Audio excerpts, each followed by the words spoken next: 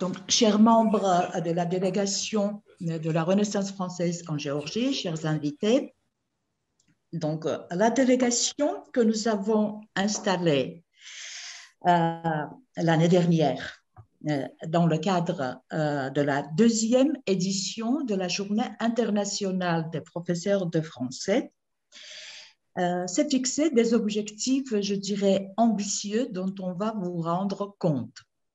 Mais avant de le faire, je voudrais passer la parole à Monsieur euh, Diego Colas, euh, qui est président d'honneur de notre délégation et qui va faire un discours d'ouverture et va nous annoncer une nouvelle agréable en même temps.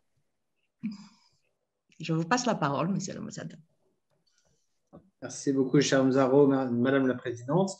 Je suis très heureux et c'est un grand plaisir pour moi en tant que président d'honneur de la délégation de la, Renaissance française en Géorgie, de, vous retrouver tous aujourd'hui pour cette seconde Assemblée générale et pour cette journée internationale du professeur de français. Euh, c'est aujourd'hui le premier anniversaire de la délégation de la Renaissance française euh, en Géorgie, euh, qui avait été créée le 26 novembre dernier. et donc, c'est une journée où nous célébrons conjointement un grand nombre d'anniversaires. Et je voudrais saluer une fois de plus, et j'ai plaisir une fois de plus à le faire, à saluer l'engagement de la présidente, Mme Zaro Toktourishvili, euh, car votre rôle essentiel au fonctionnement de la délégation géorgienne euh, m'est bien connu. Euh, et je voudrais vous remercier pour les projets initiés par la délégation. Je trouve que la délégation, en un an, a, fait du bon travail pour lancer des initiatives, se faire connaître, pour exister en Géorgie. Et je trouve que c'est une très bonne chose. Euh, êtes devenu un des acteurs euh, clés importants du développement de la francophonie en Géorgie. Vous avez demandé de nombreuses actions pour la langue, la culture française, euh, et ça, c'est une chose magnifique. et je vous remercie aussi parce que c'est avec vous, du coup, qu'il est possible d'organiser cette troisième édition de la Journée internationale des professeurs de français. et plus généralement, tout au long de l'année, je crois que nous avons une activité très dense avec l'ensemble des professeurs de français pour ancrer la présence de cette langue dans l'enseignement en Géorgie. Euh, et ça, c'est une excellente chose. Euh, et donc, je vous remercie beaucoup pour ça. J'ai fait un message tout à l'heure pour l'ensemble des professeurs de français, parce que cette journée du professeur de français, j'ai eu l'occasion de le dire, c'est la deuxième fois que je le dis, mais c'est quelque chose, la troisième même, c'est quelque chose qui est important pour moi.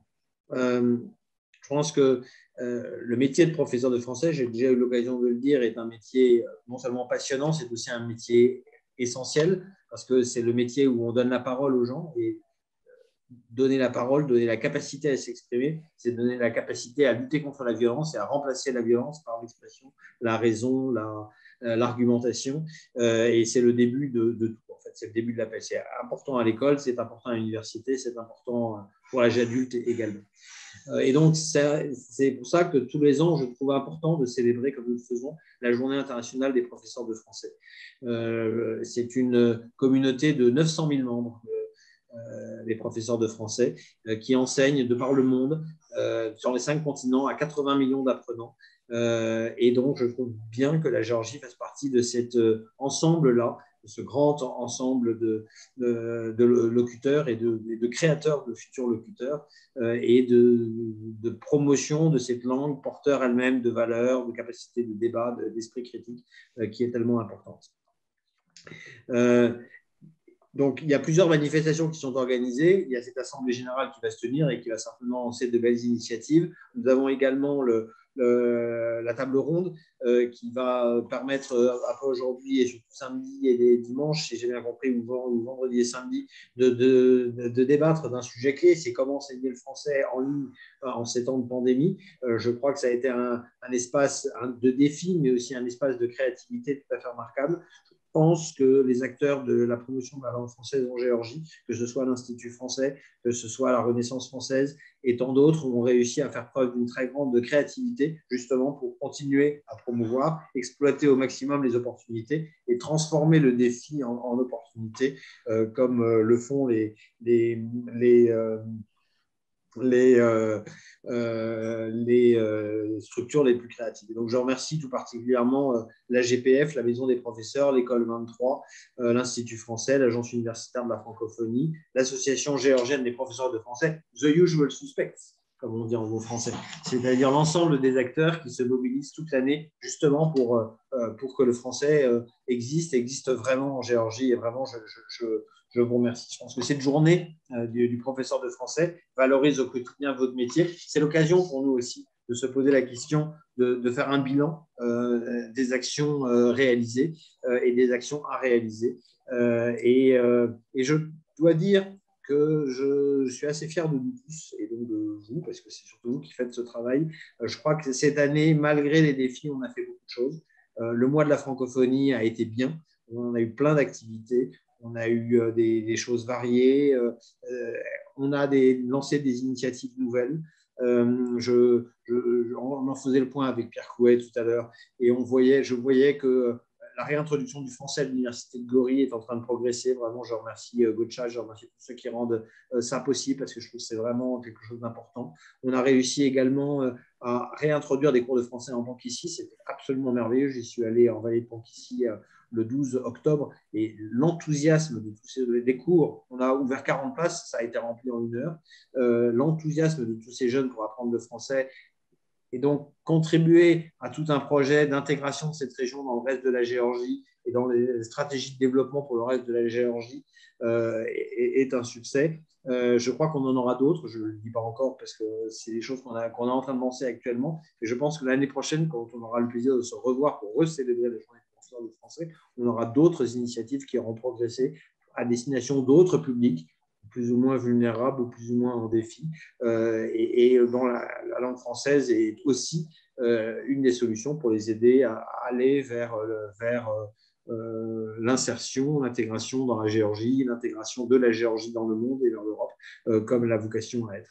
Je pense que c'est quelque chose d'essentiel. Je crois que la connaissance du français est un atout pour les Géorgiens et un atout parce que ça contribue à arrimer toujours plus la Géorgie à l'Europe, à arrimer toujours plus ce destin que les Géorgiens veulent pour eux-mêmes et c'est notre grande fierté d'aider à, à, voir advenir, qui est justement la, création de toutes ces passerelles humaines entre l'Europe euh, et, la Géorgie, qui est l'horizon naturel, la, logique historique euh, de, toute la, société géorgienne. Et je crois que la langue française contribue à faire ça, et que c'est pourquoi enseigner dans les écoles le français pour que euh, les enfants géorgiens aient accès à ces filières d'excellence qui existent et qui sont euh, très désireuses d'accueillir des Géorgiens, euh, et à, travers ça, faciliter une insertion professionnelle, faciliter la présence de Français en Géorgie et donc une présence économique, politique, partenariale qui nous rendra toujours plus proches. Donc voilà, une année très réussie. Je vous félicite tous pour ça. Une année, une année pleine de défis répondus à, à hauteur. Alors, je disais, je parlais tout à l'heure du mois de la francophonie, et ce mois de la francophonie m'avait permis, moi, de faire connaissance, puisqu'on avait veillé à, faire un certain nombre de manifestations qui étaient en ligne pour cause de Covid, mais depuis des lieux un peu emblématiques de la présence française en Géorgie. Je me rappelle avoir été euh, de mon côté avec, euh, avec euh,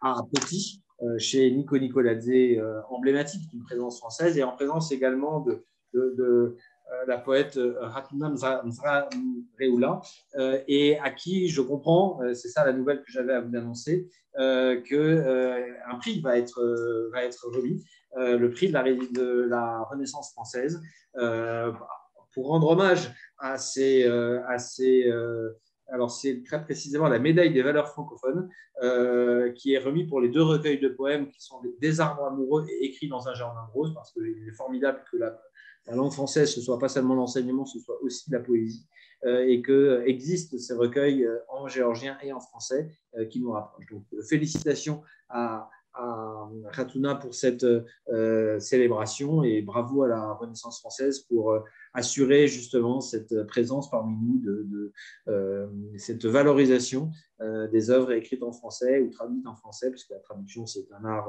merveilleux également, et, ainsi de faire rayonner notre langue, notre culture, sa beauté, son caractère esthétique autant que critique et, son rayonnement par, par, par ce biais.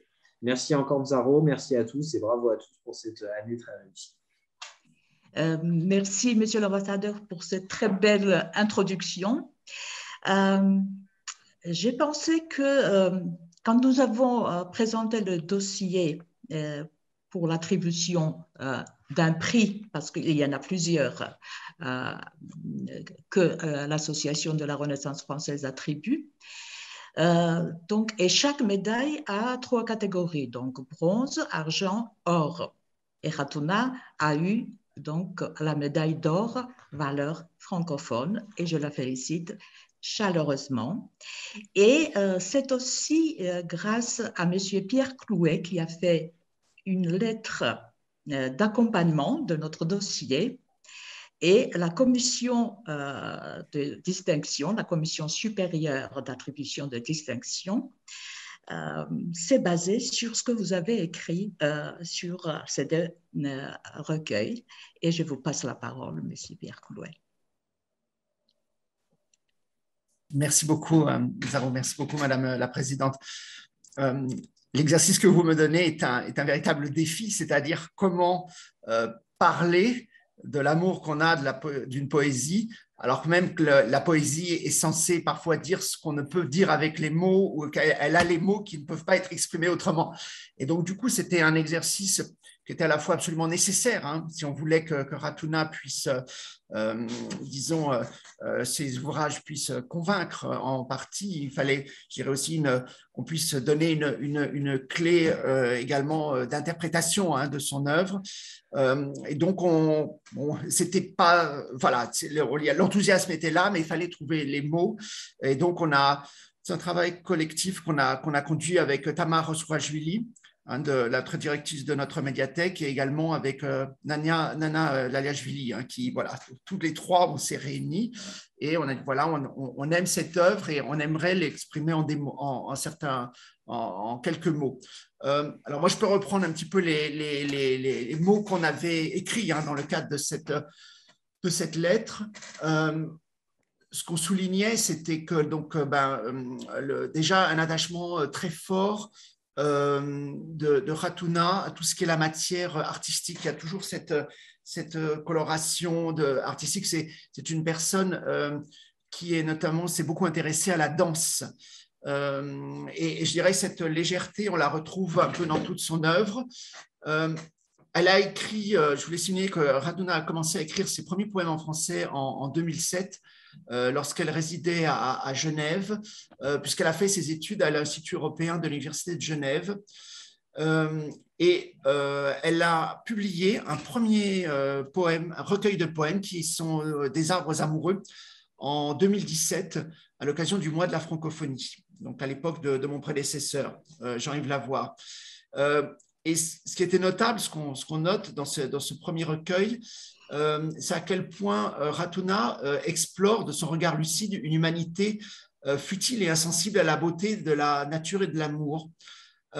cependant, au travers des poèmes, on voit que la vie est plus forte et qu'elle s'exprime non pas en nous-mêmes, mais dans les éléments qui nous entourent. L'environnement nous détourne d'une vie humaine désespérante, mais les arbres, les fleurs, les parfums ou même la danse qui est si importante dans son, dans son œuvre et dans, sa, dans ses activités, euh, sont autant d'éléments euh, qui nous soustraient aux déceptions humaines. Et euh, dans ce premier recueil des arbres amoureux, Ratuna donc, les, les évoque avec une, une, intensité qui, qui nous a semblé très rare et exceptionnelle, avec une richesse d'émotions, avec beaucoup de délicatesse, de retenue aussi. La, la pudeur, c'est vraiment quelque chose qui est très fort chez elle. Et bien sûr, cette, cette maîtrise absolue de la, euh, de, la langue française et de toutes ses nuances.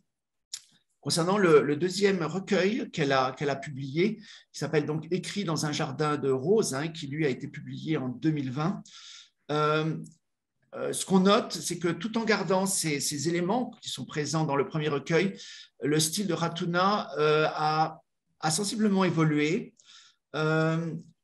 il nous semble qu'elle accordait une importance particulière à la spiritualité en reprenant notamment euh, des passages des évangiles. Elle cite beaucoup les évangiles euh, et donc elle se beaucoup de références aux évangiles, mais également à beaucoup de figures mythiques euh, avec le personnage central de Médée, qui est très lié d'ailleurs à l'histoire de la Géorgie. Euh, et euh, il y a toujours effectivement cet, attachement à la nature, au parfum, aux pierres précieuses aussi, mais avec cette dimension, euh, disons, spirituelle, religieuse, voire théologique plus affirmée. Voilà, donc ce qui nous est apparu à, tous les trois, hein, quand on on, s'est penché pour rédiger notre, notre petit avis, c'est que l'ensemble de, de Ratuna s'inscrit pleinement dans la modernité et qu'elle euh, elle cherche à promouvoir une poésie euh, libre de forme et d'esprit.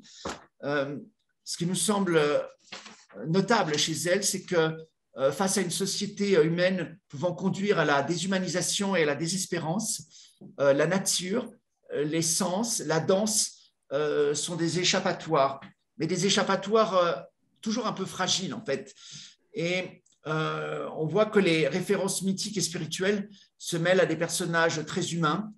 Euh, les femmes, alors c'est peut-être la référence à la femme géorgienne, sont toujours présentées comme très fortes, euh, indépendance, euh, et leur, leur rôle et leur jeunesse sont sublimés. voilà, et donc on, a eu l'impression, enfin peut-être je surinterprète, hein, mais que tel un peu une Scheherazade dans le, conte des, Mille et une nuits, on, ne connaît pas véritablement la fin de son épopée poétique. Euh, voilà, et donc euh, euh, ces, poèmes pour nous traduisent un, goût très fort pour la langue française, pour toutes ses possibilités, toutes ses ressources. et on, a l'impression, c'est ça qui est très beau dans son œuvre, qu'elle euh, écrire correspond à une nécessité vitale chez elle. Il y a, une, entièreté, une authenticité euh, très forte de, cette démarche. Euh, voilà, et c'est pour ça qu'on on, s'est permis ces, petits commentaires tous les trois. c'est ce qui nous est apparu peut-être le, plus essentiel et, à valoriser, mais il y avait sans doute encore beaucoup d'autres choses à dire sur, sur son art poétique. Voilà, que, tous ceux qui ne le, connaissent pas, je pense que beaucoup d'entre nous le, connaissent et sont convaincus de, ce qu'on a dit, mais je, pense qu'il y a encore d'autres choses à découvrir que ce que nous-mêmes, nous, y avons vu et que nous voulions spécialement mettre en avant. Voilà, merci. Je suis très content d'avoir pu parler euh, et de dire toute l'admiration que, j'ai pour elle. Merci beaucoup. Euh, je voudrais ajouter une toute petite phrase. Euh, tard le soir, pour vaincre ma fatigue, je lis souvent les poèmes de Ratuna. Et je m'endors après euh, et je fais de beaux rêves. Merci Ratuna. Félicitations Ratuna. Euh, donc, euh, toutes nos félicitations. Je, je, sais que Ratuna tient à porter un discours de remerciement, mais je voudrais quand même passer la parole avant ton discours à Monsieur Mohamed Ketata, directeur régional de l'AUF Europe centrale et régionale, s'il vous plaît. Je sais que vous, que vous, avez beaucoup de choses à nous dire, à nous apprendre, euh, pour que nous voyions aussi comment euh, notre délégation peut euh, s'impliquer dans la réalisation des projets que l'AUF nous propose. Je vous passe la parole. Écoutez, je vous remercie, Madame la Présidente de la délégation de la Renaissance française en, Géorgie, euh, Votre Excellence, Monsieur l'ambassadeur de France en Géorgie, Monsieur le Président d'honneur de cette belle délégation. Mesdames, Messieurs, chers collègues, chers amis francophones, c'est avec un grand plaisir et honoré à la fois pour la deuxième fois consécutive de faire partie de votre réunion et de contribuer justement euh, avec vous euh, à cette belle cette belle œuvre et je dirais de contribuer avec vous avec l'ensemble de nos actions francophones. Vous prenez certainement euh, des, valeurs, justement, des valeurs de la francophonie, euh, comme le partage, la solidarité active, euh, le respect de la, de la diversité, la diversité culturelle et, également. Et l'agence ne peut justement que vous accompagner dans vos actions au, quotidien.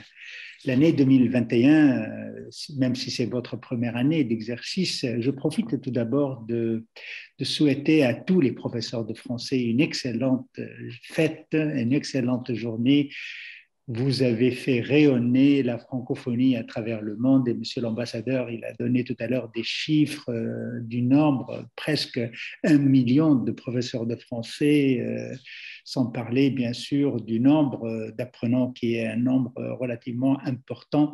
Je dirais que la francophonie va bien et continue à aller, je dirais, de mieux en mieux. Même les chiffres de la progression de la francophonie continue à, augmenter.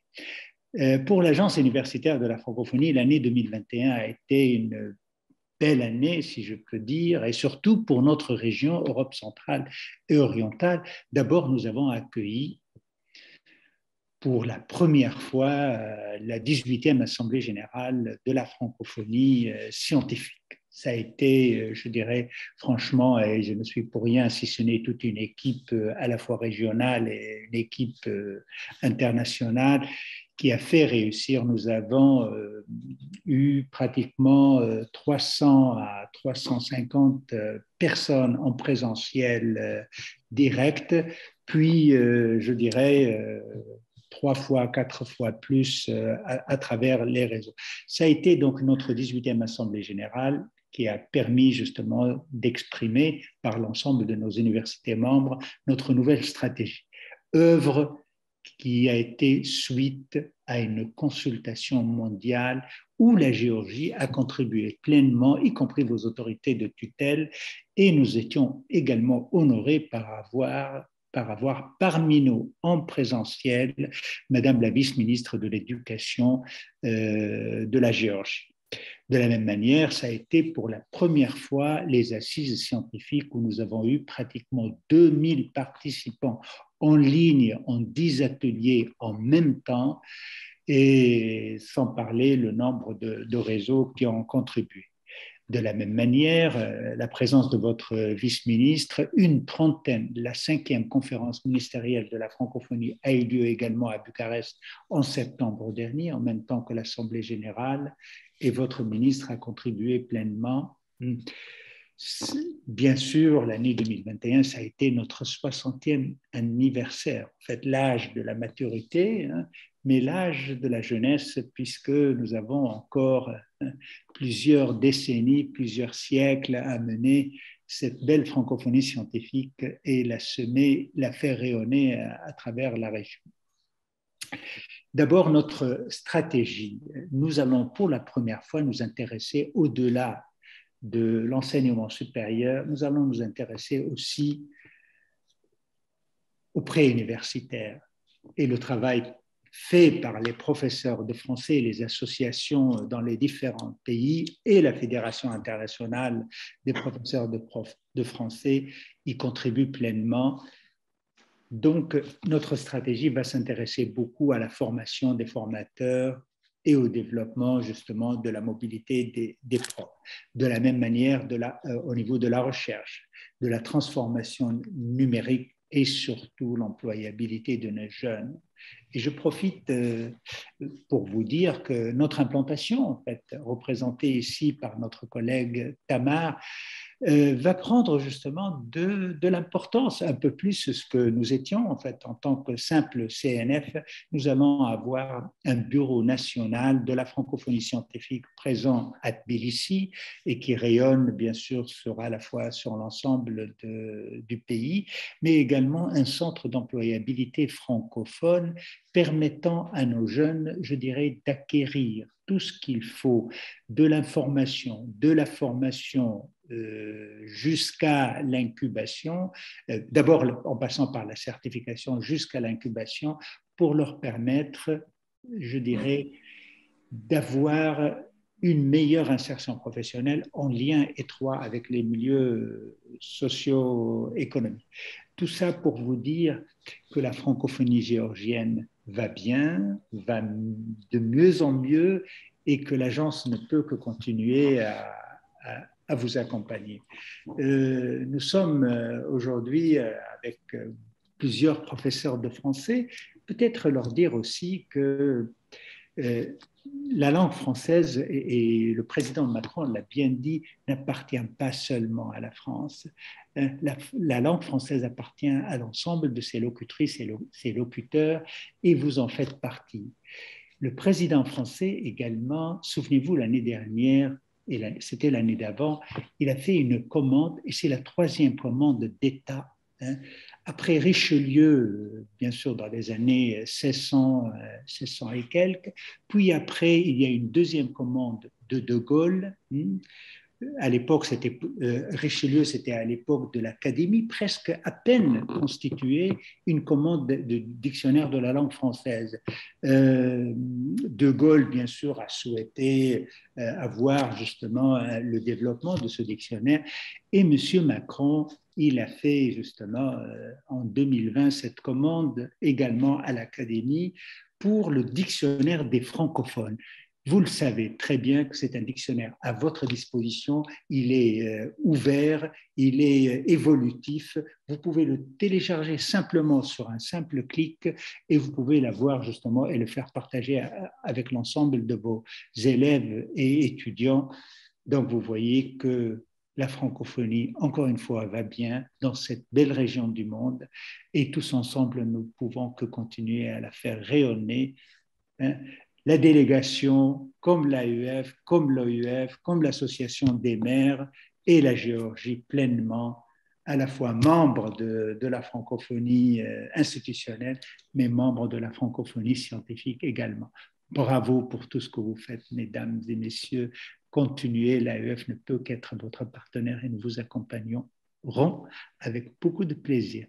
Bonne journée et bonne santé. Merci beaucoup et euh, je vous remercie au nom de tous les francophones géorgiens de votre soutien sans faille pour tout ce qu'on fait euh, pour faire rayonner le français et la francophonie en Géorgie. Merci beaucoup encore une fois. Je vois que Khatuna euh, elle a hâte de porter son discours de remerciement. On va l'écouter. Bonsoir, mesdames et messieurs. Je suis très heureuse d'être euh, parmi vous.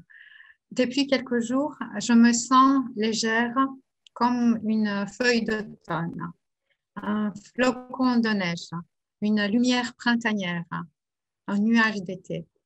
En effet, la présidente de la délégation de la très prestigieuse institution, la Renaissance française, la professeure Madame Zaro Dortulishvili m'a annoncé que sur proposition de la commission de distinction, le professeur M. Denis Fada a signé l'arrêté de remise de distinction pour la session d'automne 2021. Conformément à cet arrêté, je vais recevoir la médaille d'or des valeurs francophones. Cette première récompense française m'honore et honore ma contribution sans faille au resserrement des liens culturels entre la France et la Géorgie et au rayonnement de l'art français et européen dans mon pays. Cette haute distinction me fait me remémorer tant de choses.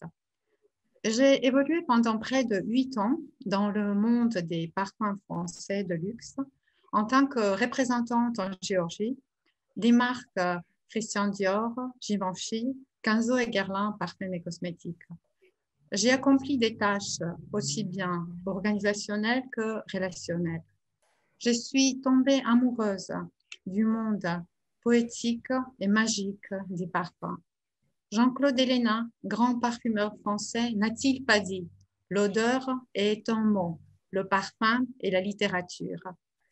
J'ai aimé et j'ai fait aimer cette littérature aux Géorgiens et je continue à le faire.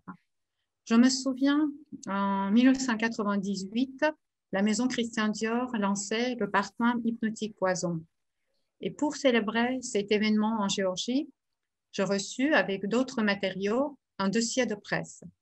Mais il ne s'agissait pas de simple papier.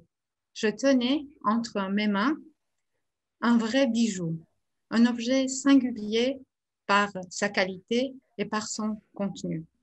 Je me souviens avoir pensé, une personne parlant la langue de Baudelaire ne pouvait pas faire autrement. Je me souviens m'être dit, un jour, je voudrais écrire des poèmes inspirés des parfums. 15 ans plus tard, en 2015, j'écrivais Le chagrin et le parfum. La danse contemporaine française me passionne et c'est dans ce domaine que j'ai créé mon cycle de conférences sur les nouveautés chorégraphiques européennes et sur les relectures d'anciens ballets accompagnées de projections vidéo. Le public géorgien les apprécie et considère ces conférences comme des fenêtres ouvertes sur l'Europe. Je me souviens de la première préparation, de la préparation de ma toute première conférence sur le ballet Le songe de Médée d'Angelin Préjocage, célèbre chorégraphe français. Mon père venait de mourir. Il m'était pénible de rester dans mon appartement. J'ai déménagé pour deux mois chez ma cousine. Je me levais à 7 heures du matin. J'ai déjeuné vite pour ne pas les déranger et j'allais à la gare ferroviaire où il y avait Internet.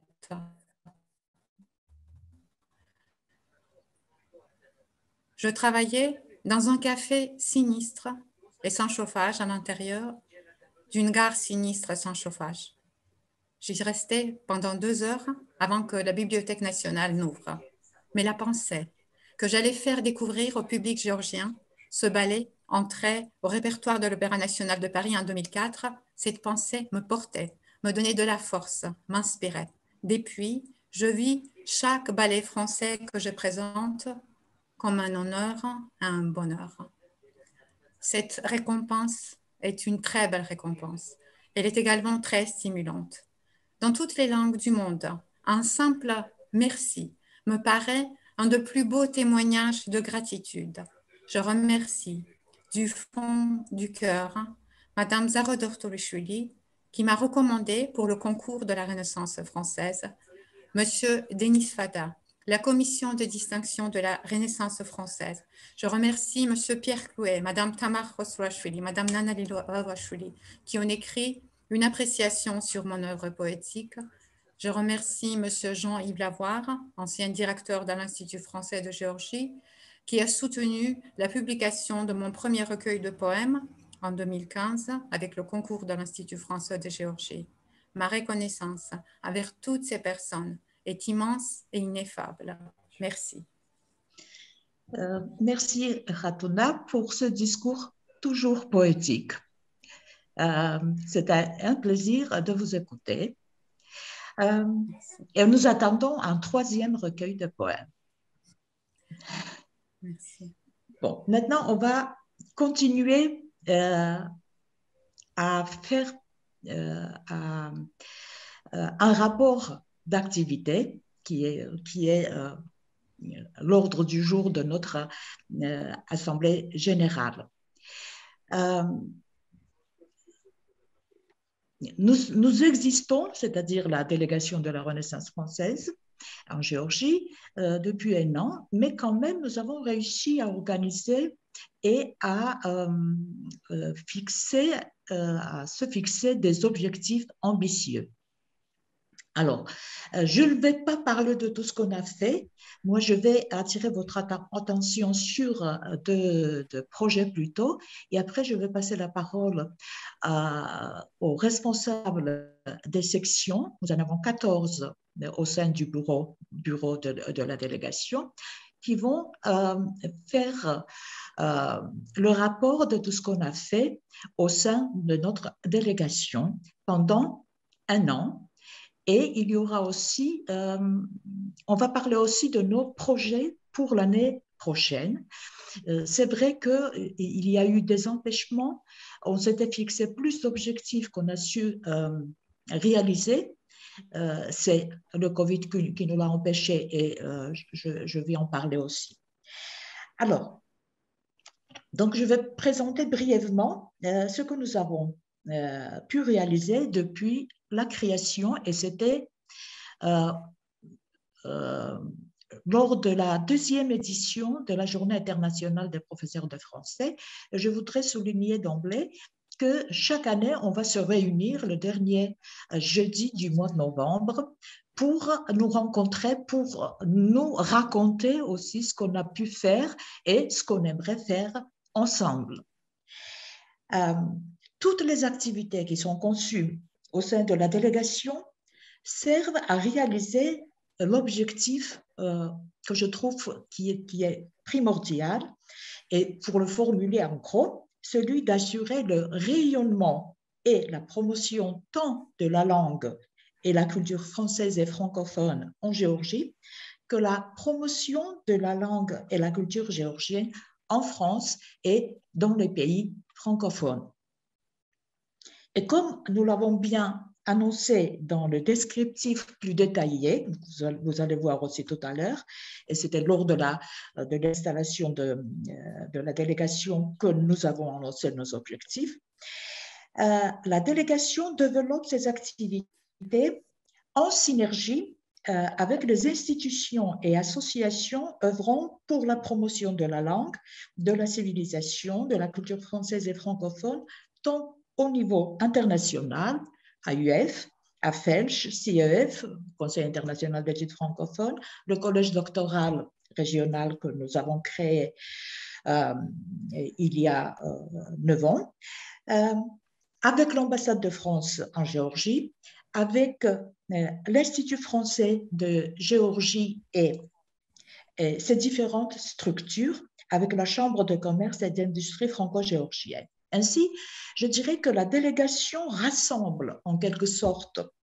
euh, euh, tous les acteurs qui œuvrent dans différents domaines et institutions du pays et qui sont au service euh, du rayonnement de la langue et de la culture française et francophone dans le pays.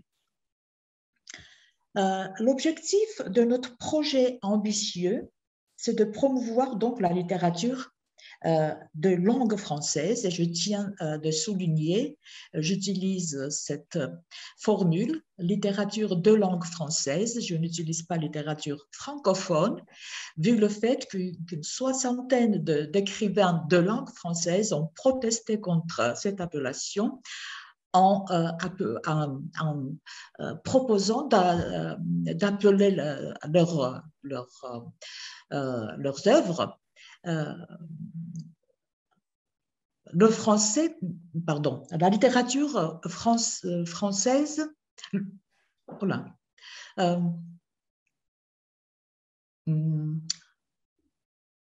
la littérature, euh, la, littérature française,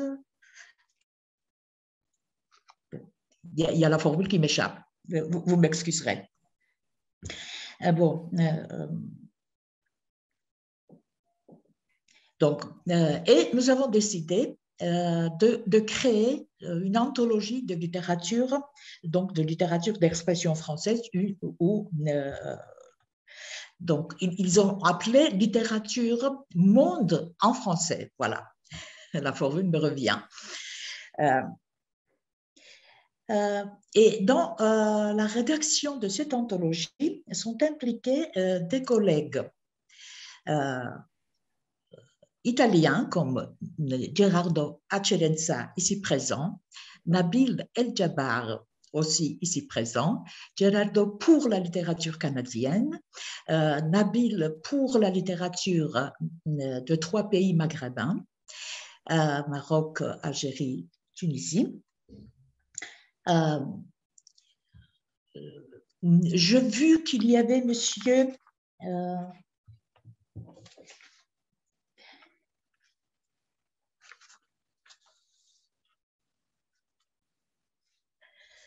Euh, Monsieur Bachir Ramir, Ramsir qui s'était connecté. Euh, lui, c'est pour la littérature euh, de Guinée. il y a Madame, et tu m'excuseras Kong, pour la littérature vietnamienne de langue française, Kong, Van Kong Tran, ici présent. Euh, et euh, je dois dire euh, il me semble que la, toute la Felch, toute la Felch est impliquée dans la rédaction de cette anthologie parce qu'il y a donc le président de l'association, il y a le vice-président qui est Karl Akiki libanais qui voulait se connecter, mais il s'est excusé parce qu'il fête aujourd'hui son 40e anniversaire. On va lui envoyer nos félicitations. et il y a Louis-Martin Nguyen et Sono, qui est secrétaire général de la FELCH et qui est camerounais et qui a coordonné le travail de ses collègues camerounais pour nous envoyer des textes des écrivains de langue française de, ce pays. Donc, il y a aussi euh, nos collègues de roumains, plutôt notre collègue euh, Nelly Eiben euh, de l'université de Timișoara, qui prépare, elle n'a pas encore envoyé les textes, mais elle est en train de préparer les textes pour, pour cette anthologie. il y a aussi euh, notre collègue euh, de euh, Gabon, Marie-France Andem Alogo, qui a voulu constituer une équipe qui a rédigé donc le matériel pour cette anthologie. Et c'était Madame Karine Mong qui avait coordonné ce travail. Euh, donc, je, voudrais euh, donc les remercier du fond du cœur euh, pour ce travail qui est qui, c'est une tâche vraiment très très comment dirais-je très dure vu le fait que ce n'est pas un travail facile parce qu'il fallait suivre toutes les contraintes que ce genre d'activité euh, implique et qui a été un travail tout à fait bénévole, je souligne, bénévole. Le projet n'a aucun financement. Euh, mais ce dont je suis sûre, c'est que notre université va publier l'anthologie. Euh, autrement, donc, il n'y a aucun financement pour la rédaction de, cette anthologie, mais ce fait témoigne une fois de plus de toute l'abnégation, de l'amour et du dévouement que nous vouons à la langue que nous avons en partage et qui est le français. Donc, et euh, je me suis dit que tous nos collègues qui sont impliqués dans la rédaction de cette anthologie euh, devraient être membres d'honneur de, de notre délégation. Et j'ai eu déjà l'écho de nos collègues qui acceptent donc cette proposition et euh, j'espère que vous voudrez aussi qu'ils soient membres d'honneur de cette délégation. Et je pense, Monsieur l'ambassadeur, leur adresser, donc leur envoyer euh, une certification, une attestation que nous allons signer avec vous pour attester que ces collègues sont membres d'honneur de notre délégation. Une autre, bon, une autre belle réalisation de notre délégation, c'était l'organisation d'une manifestation consacrée au Liban intitulée La Géorgie solidaire avec le Liban. Euh, avec la participation euh, d'un large public d'élèves euh, du secondaire, d'étudiants et de professeurs des universités, ayant nous avons eu en qualité d'invité d'honneur M. Alassane Najar, l'écrivain, qui avait été récompensé de, de prix très prestigieux pour son œuvre foisonnante et euh, j'annonce que Mme Ziagomelaori, qui est là, est en train de traduire un de ses romans qui s'intitule Mimosa, euh, qu'il a euh, dédié à sa, à sa mère. Et là, je profite de cette occasion pour vous dire que nous cherchons le, le, moyen de financement pour la publication de ce roman. Alors, je m'adresse à M. Ketata aussi, si la francophonie peut nous secourir. Euh, voilà. Euh, tout ne peut pas être bénévole, tout le travail qu'on fait, impossible que tout le travail soit bénévole. Il, y a quand même euh, donc des, ressources à utiliser pour faire publier l'œuvre qu'on a traduite. donc nous avons encore nous, avions encore un projet très ambitieux à, a organisé cette année. donc, c'était un projet initié par M. Denis Fada qui nous avait proposé lors de l'installation de notre délégation d'organiser un colloque sur la Géorgie à Paris mais donc le Covid nous l'a empêché. J'espère euh, pouvoir organiser quand même ce colloque l'année prochaine. Euh, en automne probablement, dans l'espoir que le Covid euh, s'éloignera de nous. il restera peut-être dans les parages, mais quand même, il nous permettra de nous réunir à Paris pour le colloque sur la Géorgie. Euh, je vais m'arrêter là pour passer la parole euh, à, mes collègues, aux responsables des, sections. Euh, et je vais commencer par, je vais, je vais passer la parole à Makana Chuli parce que donc, on est aujourd'hui euh, le jour où on célèbre la, Journée internationale des professeurs de français. Donc, Maka, elle dirige au sein de la délégation la section éducation et euh, plus particulièrement, donc, euh, elle s'occupe des écoles secondaires. Et donc, je lui passe la parole. Maka, tu es oui, bien sûr. Bonjour. Bonjour à toutes et à tous. Donc, euh, comme Madame Zaro m'a présenté, je suis Maka Nadale Et Tout d'abord, je suis le professeur de, de français dans l'école. Donc, et après, pour le moment, je vais vous partager ma présentation et je vais vous parler euh, de nos projets. Voilà.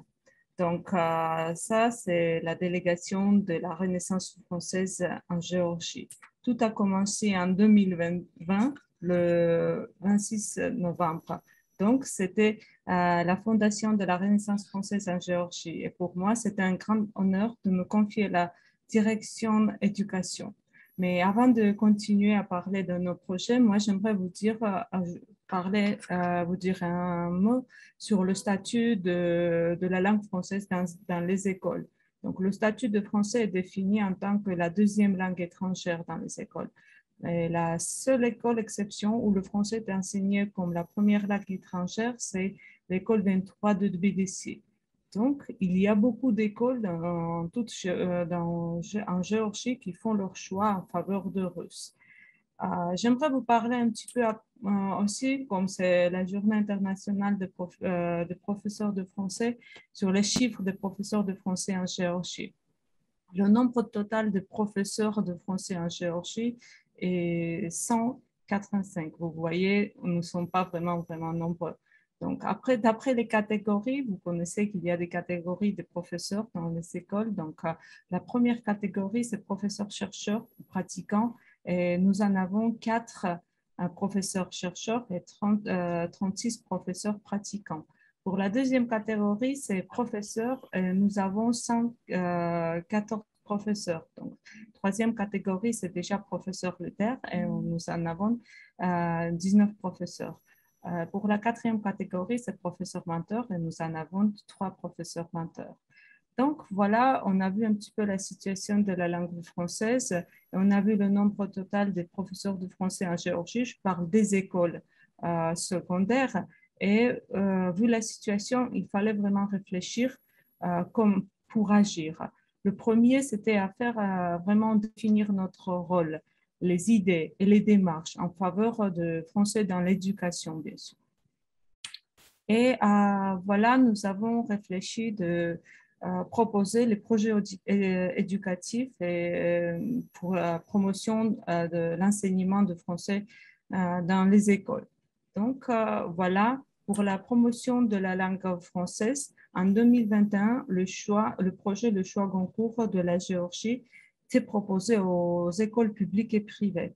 Et c'était pour la deuxième édition euh, de, du prix que l'école publique euh, numéro 23 a présenté son candidat pour euh, le jury. C'était une grande expérience, motivation et les nouveaux vraiment défis pour les professeurs ainsi que pour les élèves.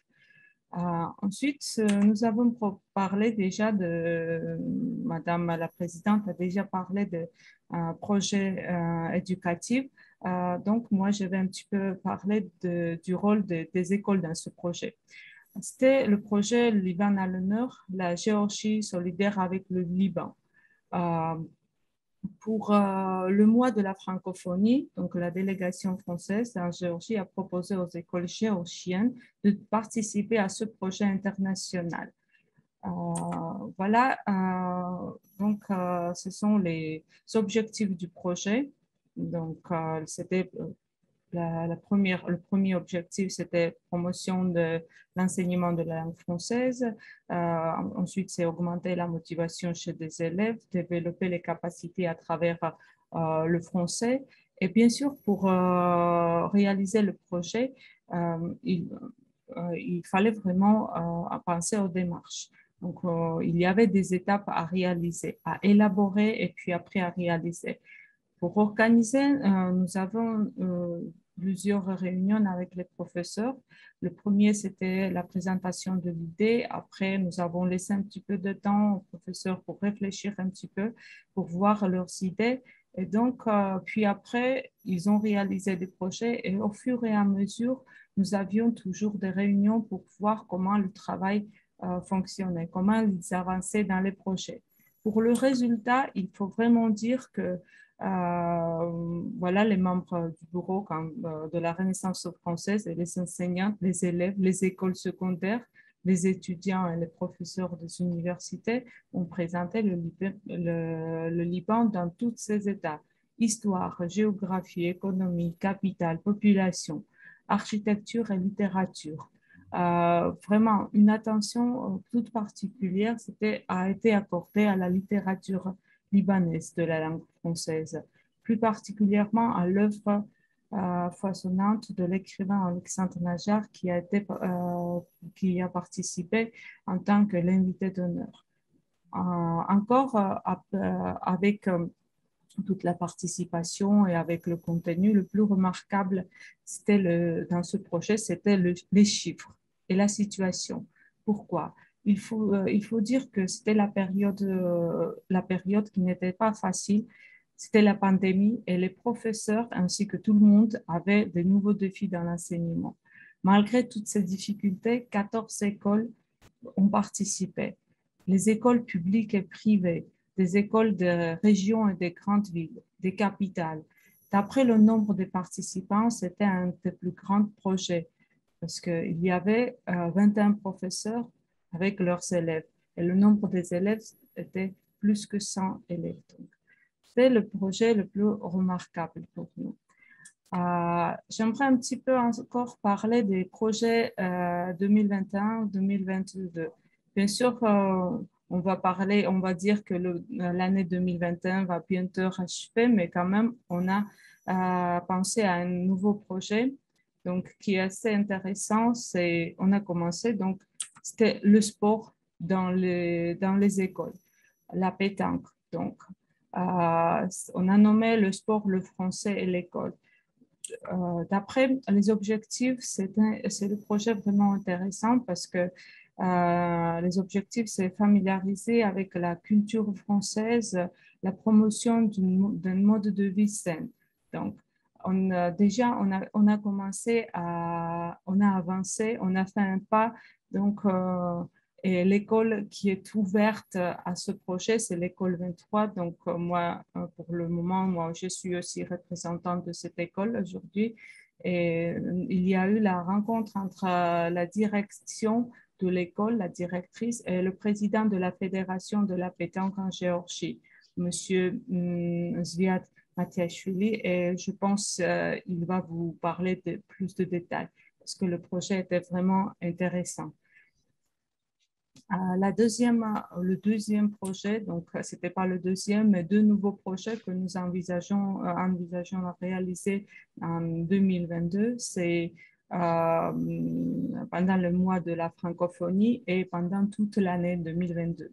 Donc, pendant, pour, donc, pendant le mois de la francophonie, pour faire connaître les pays francophones au public géorgien, nous avons choisi le Maroc.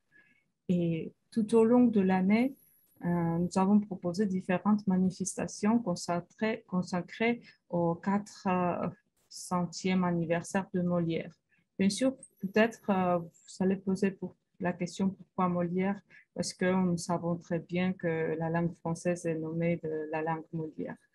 Donc, c'était tout en bref ce qu'on envisageons faire pendant une année 2022. Et j'ai une petite annonce encore à vous faire. Donc, le 27 novembre, nous avons encore un grand événement. C'est la conférence qui s'intitule La pandémie et le nouveau défi de l'enseignement du français.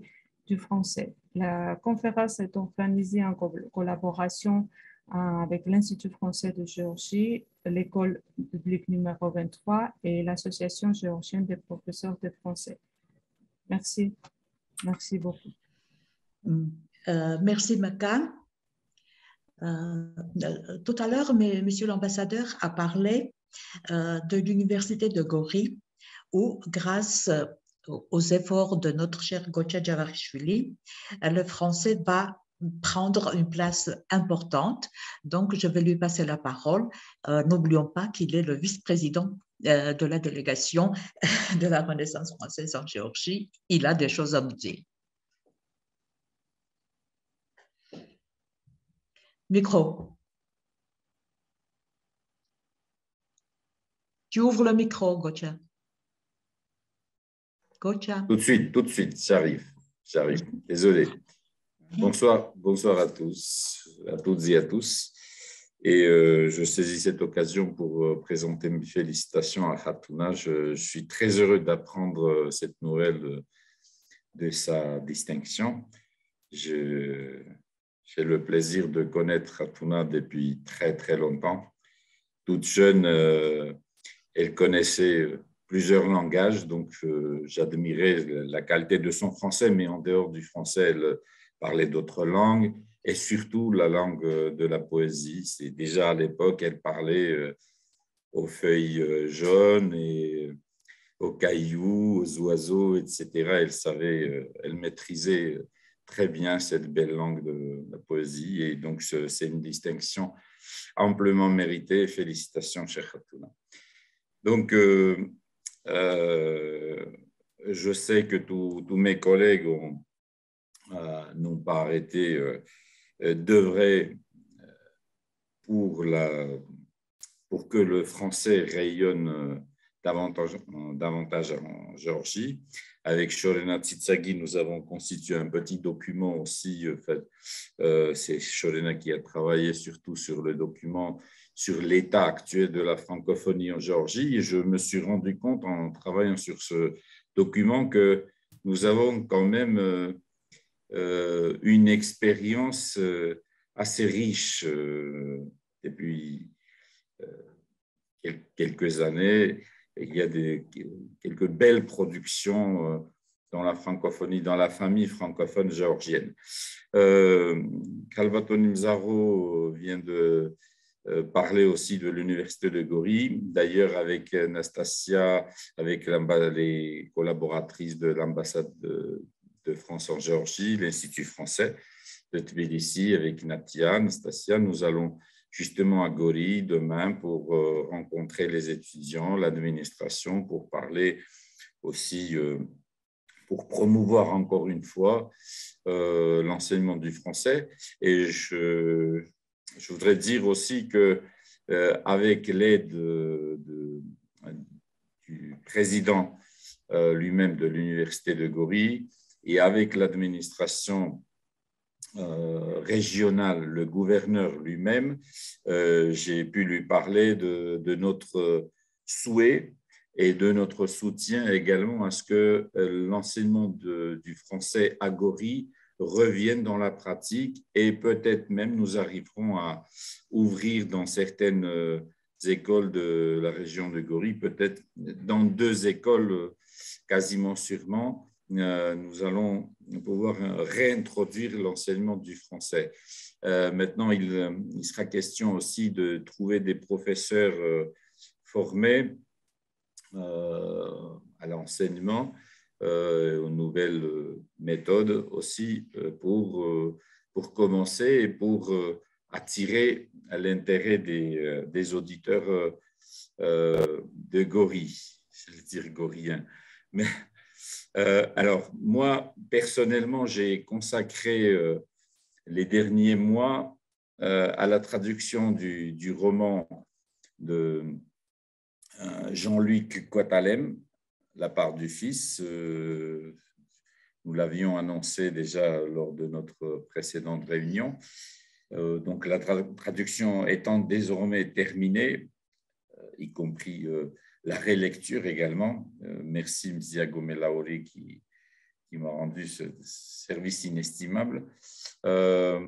Et nous attendons maintenant euh, une petite procédure administrative au sein de, l'édition, à l'université, au sein de l'université il y a, à savoir, euh, nous travaillerons sur euh, la couverture, photo, cadrage, etc. Donc la sortie du livre est prévue début de l'année 2022, si, si tout va bien, Calvato Zao, vous me confirmerez et la présentation probablement en juillet dans le cadre d'une conférence internationale dont l'invité d'honneur sera euh, l'auteur du livre, l'écrivain extraordinaire euh, Jean-Luc Quatalem. Donc le, processus de la traduction pour moi était particulièrement intéressant. Euh, je dois dire que je suis parmi ces chanceux qui ont pu, enfin j'ai pu j'ai pu le rencontrer personnellement trois fois, au moins trois fois. Euh, nous avons pris euh, un verre, un café ensemble, et nous sommes entretenus par téléphone plusieurs fois.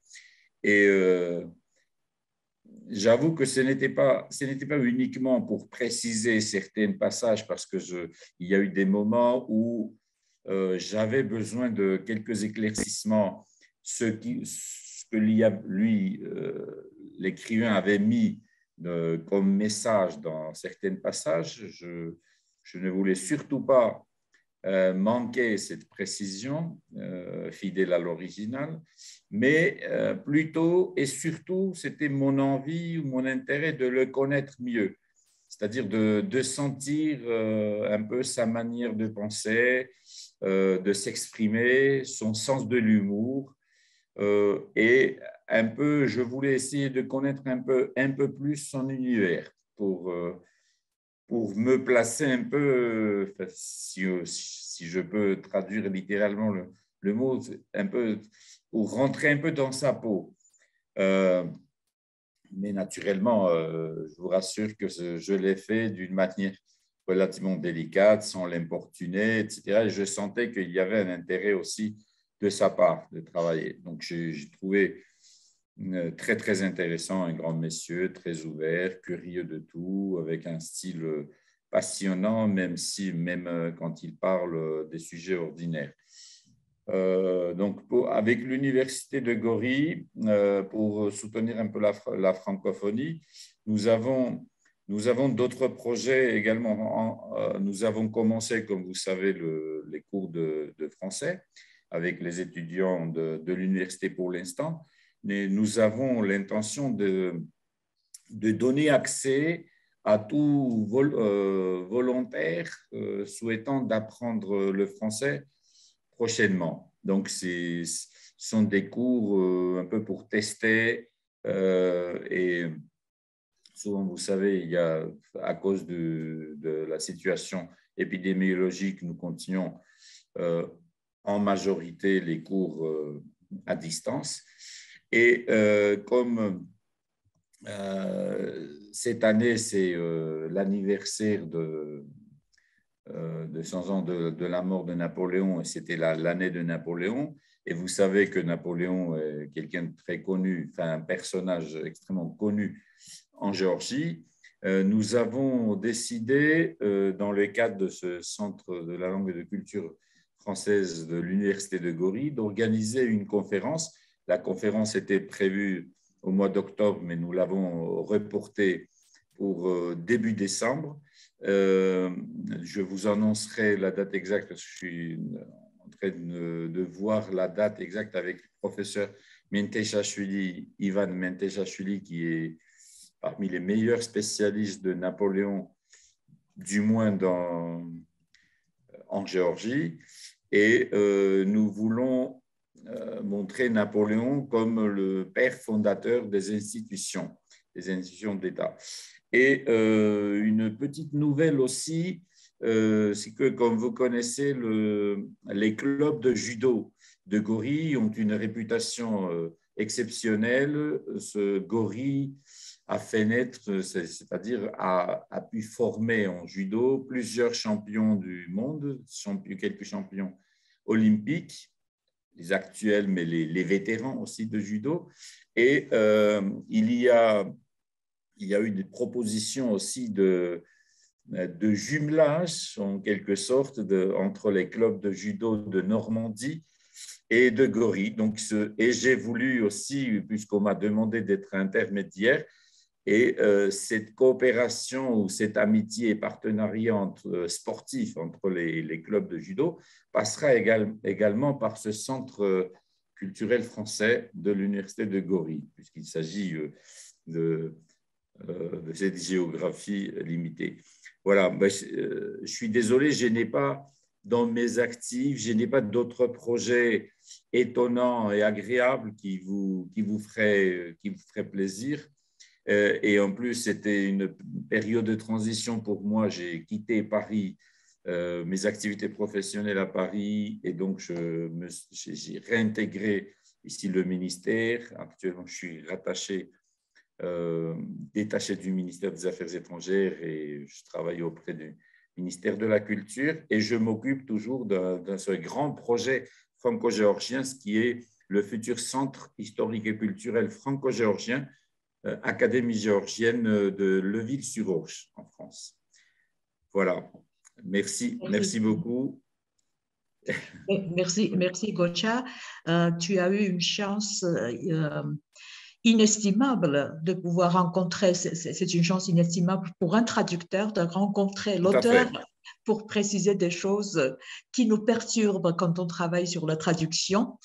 Euh, et puis, euh, merci pour tout ce que tu fais et surtout pour Gori. Et puisque tu as évoqué euh, le sport, je passerai peut-être maintenant la parole à Zviad Matiashvili, qui est initiateur de l'introduction de la pétanque en Géorgie avec le président de la fédération, M. Levan Djoronelizé. Je lui avais envoyé l'invitation, je ne sais pas s'il nous a rejoint.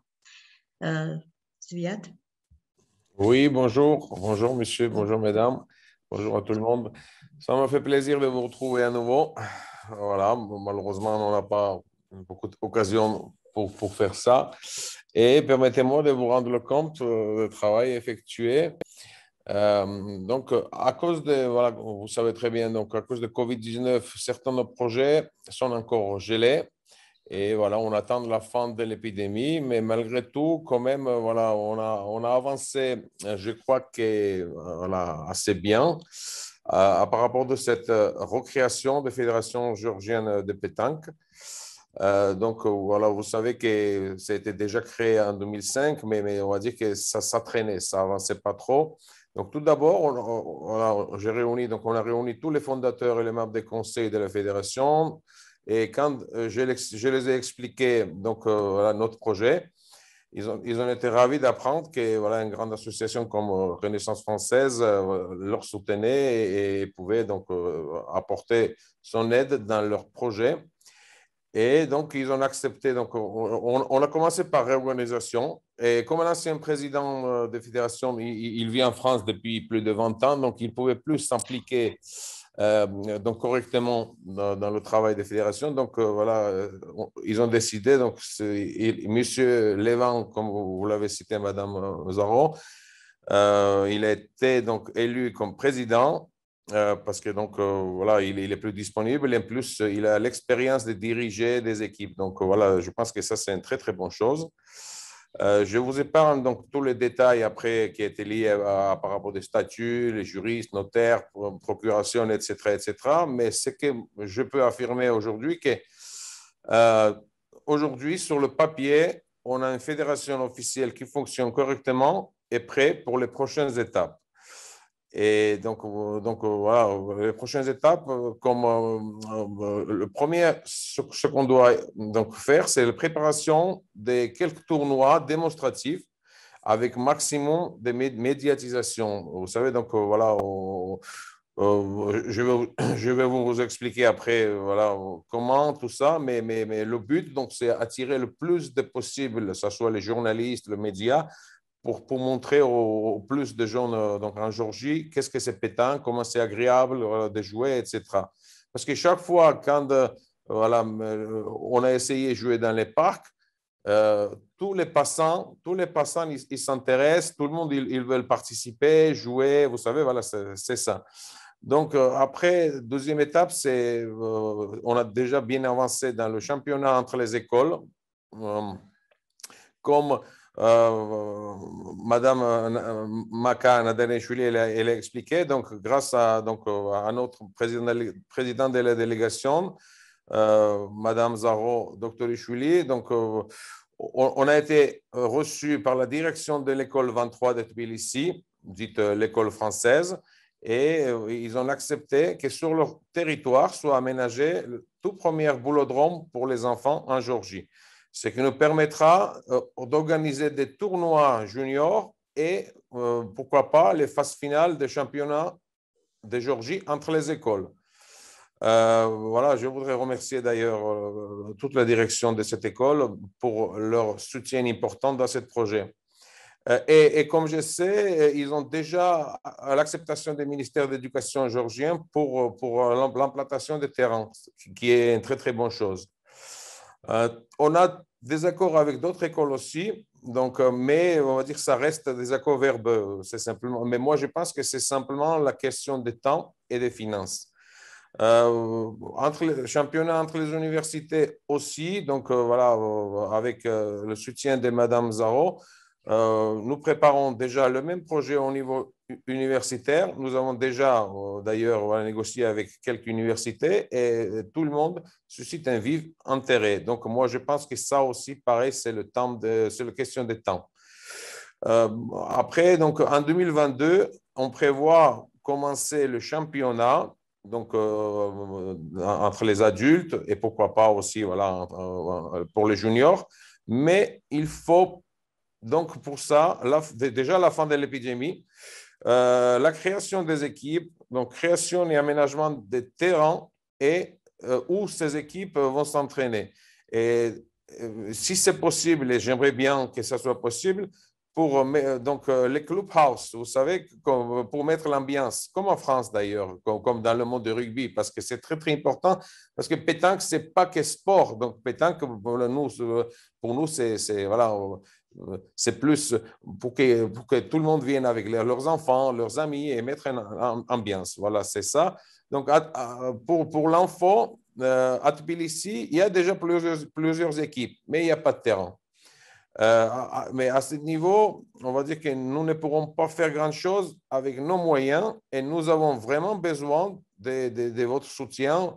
Donc, surtout pour demander à la mairie de Tbilissi des places dans les parcs des capitales. Euh, par exemple, je pense le, le tout premier, c'est Hippodrome de Tbilissi, parce qu'il y a, l'espace, il y a la place. En plus, si je ne me trompe pas, euh, ça va être un parc française. Donc, pourquoi pas?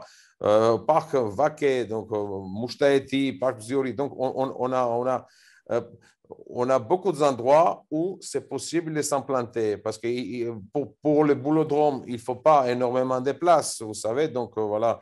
Euh, sur ce sujet, d'ailleurs, on a discuté avec euh, M. Pierre euh, Clouet qui nous a promis d'aide dans cette démarche de la part de l'ambassade. Donc, ça, ça, va être une très, très bonne chose. donc, pour développer dans les régions, donc, moi, je pense que voilà, il sera beaucoup plus facile d'introduire et développer la pétanque dans les régions parce qu'il sera donc plus facile d'allouer et d'aménager les, les boulodromes nous avons déjà discuté euh, sur ce sujet pendant les réunions dans les ministères du développement régional et des sports. Donc, nous, avons déjà un soutien verbal. Euh, mais pour que tout ça se concrétise euh, et ça ne reste pas verbal, donc, et nous travaillons sur ça, donc nous travaillons sur la reconnaissance de la fédération par l'État. apparemment, voilà, c'est obligatoire. On s'est rendu compte que cette étape est très importante pour concrétiser nos projets déjà purgés au niveau des promesses verbaux. Donc, malheureusement, la commission de reconnaissance s'est réunie une fois par an et donc nous devons attendre 2022 mais nous avons déjà parlé aux personnes concernées et ils nous ont promis que ça ne devrait pas être un problème. Mais euh, l'aide euh, à l'association ou, l'ambassade de la France, nous espérons, rendra ce processus encore plus facile. Et voilà, pour cette raison, euh, le président de la fédération, donc, il propose, on va dire, comme un accord de coopération entre la fédération, l'ambassade et l'association Renaissance française il considère que cet accord va donner encore plus de crédibilité à la fédération et à ses projets auprès de l'État. Euh, par exemple, entre d'autres, ça va faciliter l'obtention euh, de financement d'État, de l'implantation de terrains euh, de pétanque partout en Géorgie. Et on va dire que la dernière étape, c'est euh, c'est le financement quand même, parce que vous savez, donc jusqu'à maintenant, c'est les fondateurs des fédérations qui financent de tout, mais dans le futur proche, pour tous les, pour tous les projets que, j'ai déjà cités à haut et encore d'autres, euh, ils, espèrent avoir un financement d'État en 2022, mais en attendant, il va falloir euh, voilà, trouver des sponsors. Je, je, voudrais préciser que je ne parle pas, bien entendu, des salaires ou des primes. Le financement est nécessaire surtout pour aménagement des terrains et pour les équipements, par exemple, euh, souvent, et, voilà, euh, pendant les rencontres, euh, que ce soit les écoles ou l'université, ils demandent à la fédération s'ils peuvent participer aux frais d'aménagement des terrains et s'ils peuvent fournir des matériels au moins voilà, pour commencer, pour les écoles. Et c'est à, à, rapport de ça, je ne sais pas, je demande, hein, je, me permets de demander si la Chambre de commerce de française pour nous aider de trouver le financement jusqu'à la pétanque deviendra populaire en Georgie, ce qui permettra à la fédération de trouver lui-même des sponsors. Euh, et vous savez, en 2010, il y avait un, tournoi à Batumi. Donc, euh, la, fédération à, l'époque, donc ils ont, par exemple, ils ont trouvé la compagnie téléphonique Beeline. Voilà, vous savez tous que vous êtes en Georgie. Ils ont sponsorisé le matériel. Par contre, ils ont eu le droit d'utiliser leur couleur et leur logo, logo euh, sur les boules euh, de ce tournoi. Donc voilà, des choses comme ça, mais ça, ça j'espère que. D'accord. Merci. Mhm. merci beaucoup, merci beaucoup et voilà. Félicitations encore à Tuna.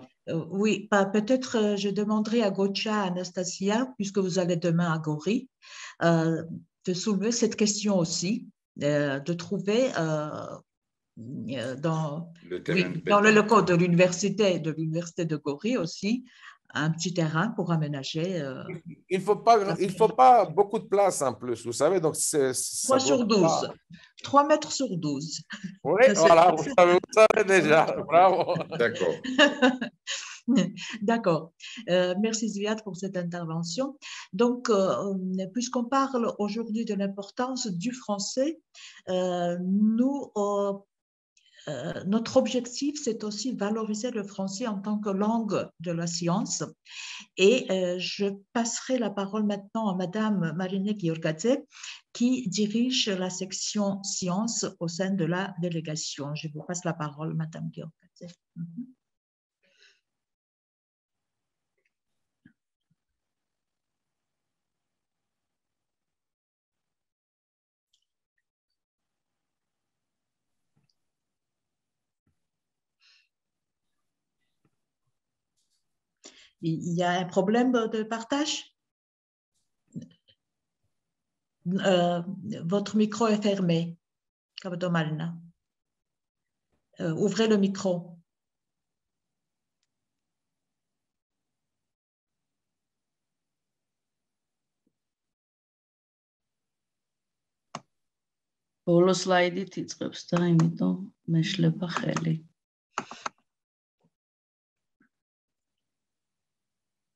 Voilà.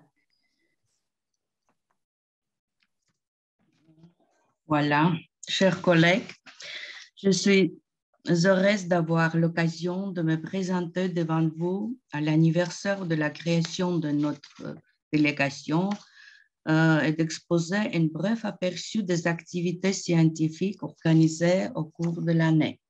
L'année dernière a été difficile pour tout le monde à cause de la pandémie. Cela a affecté nos activités scientifiques aussi, mais nous avons quand même réussi à tenir deux colloques scientifiques internationaux. Euh, je vais euh, vous en parler euh, brièvement. Huitième colloque international de collège doctoral régional francophone sur la littérature nationale en traduction a eu lieu en septembre 2020, organisé par l'Université d'État Chota-Rustaveli de Batumi et l'Université d'État euh, Ilia. Euh, le colloque euh, s'est déroulé dans un format mixte selon la situation. Le programme comprenait 90 communications, à peu près 100 intervenants, dont 30 chercheurs étrangers de 12 universités sur trois continents et le représentant de 15 universités géorgiennes. Grâce aux efforts euh, du comité d'organisation et scientifique du colloque, avec le soutien de chercheurs étrangers, certains d'entre eux sont également présents aujourd'hui et je tiens euh, à le remercier encore une fois. Donc, grâce à l'effort euh, mutuel, la conférence avait un grand succès.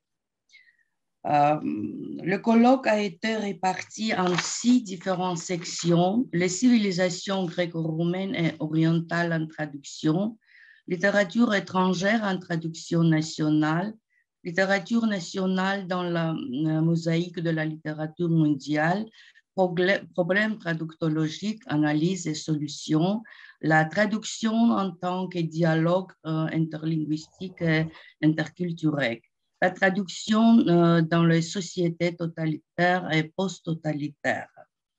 Euh, les communications présentées lors de la conférence, après double évaluation anonyme, seront publiées dans la revue euh, études interdisciplinaires en sciences humaines du Collège doctoral régional francophone.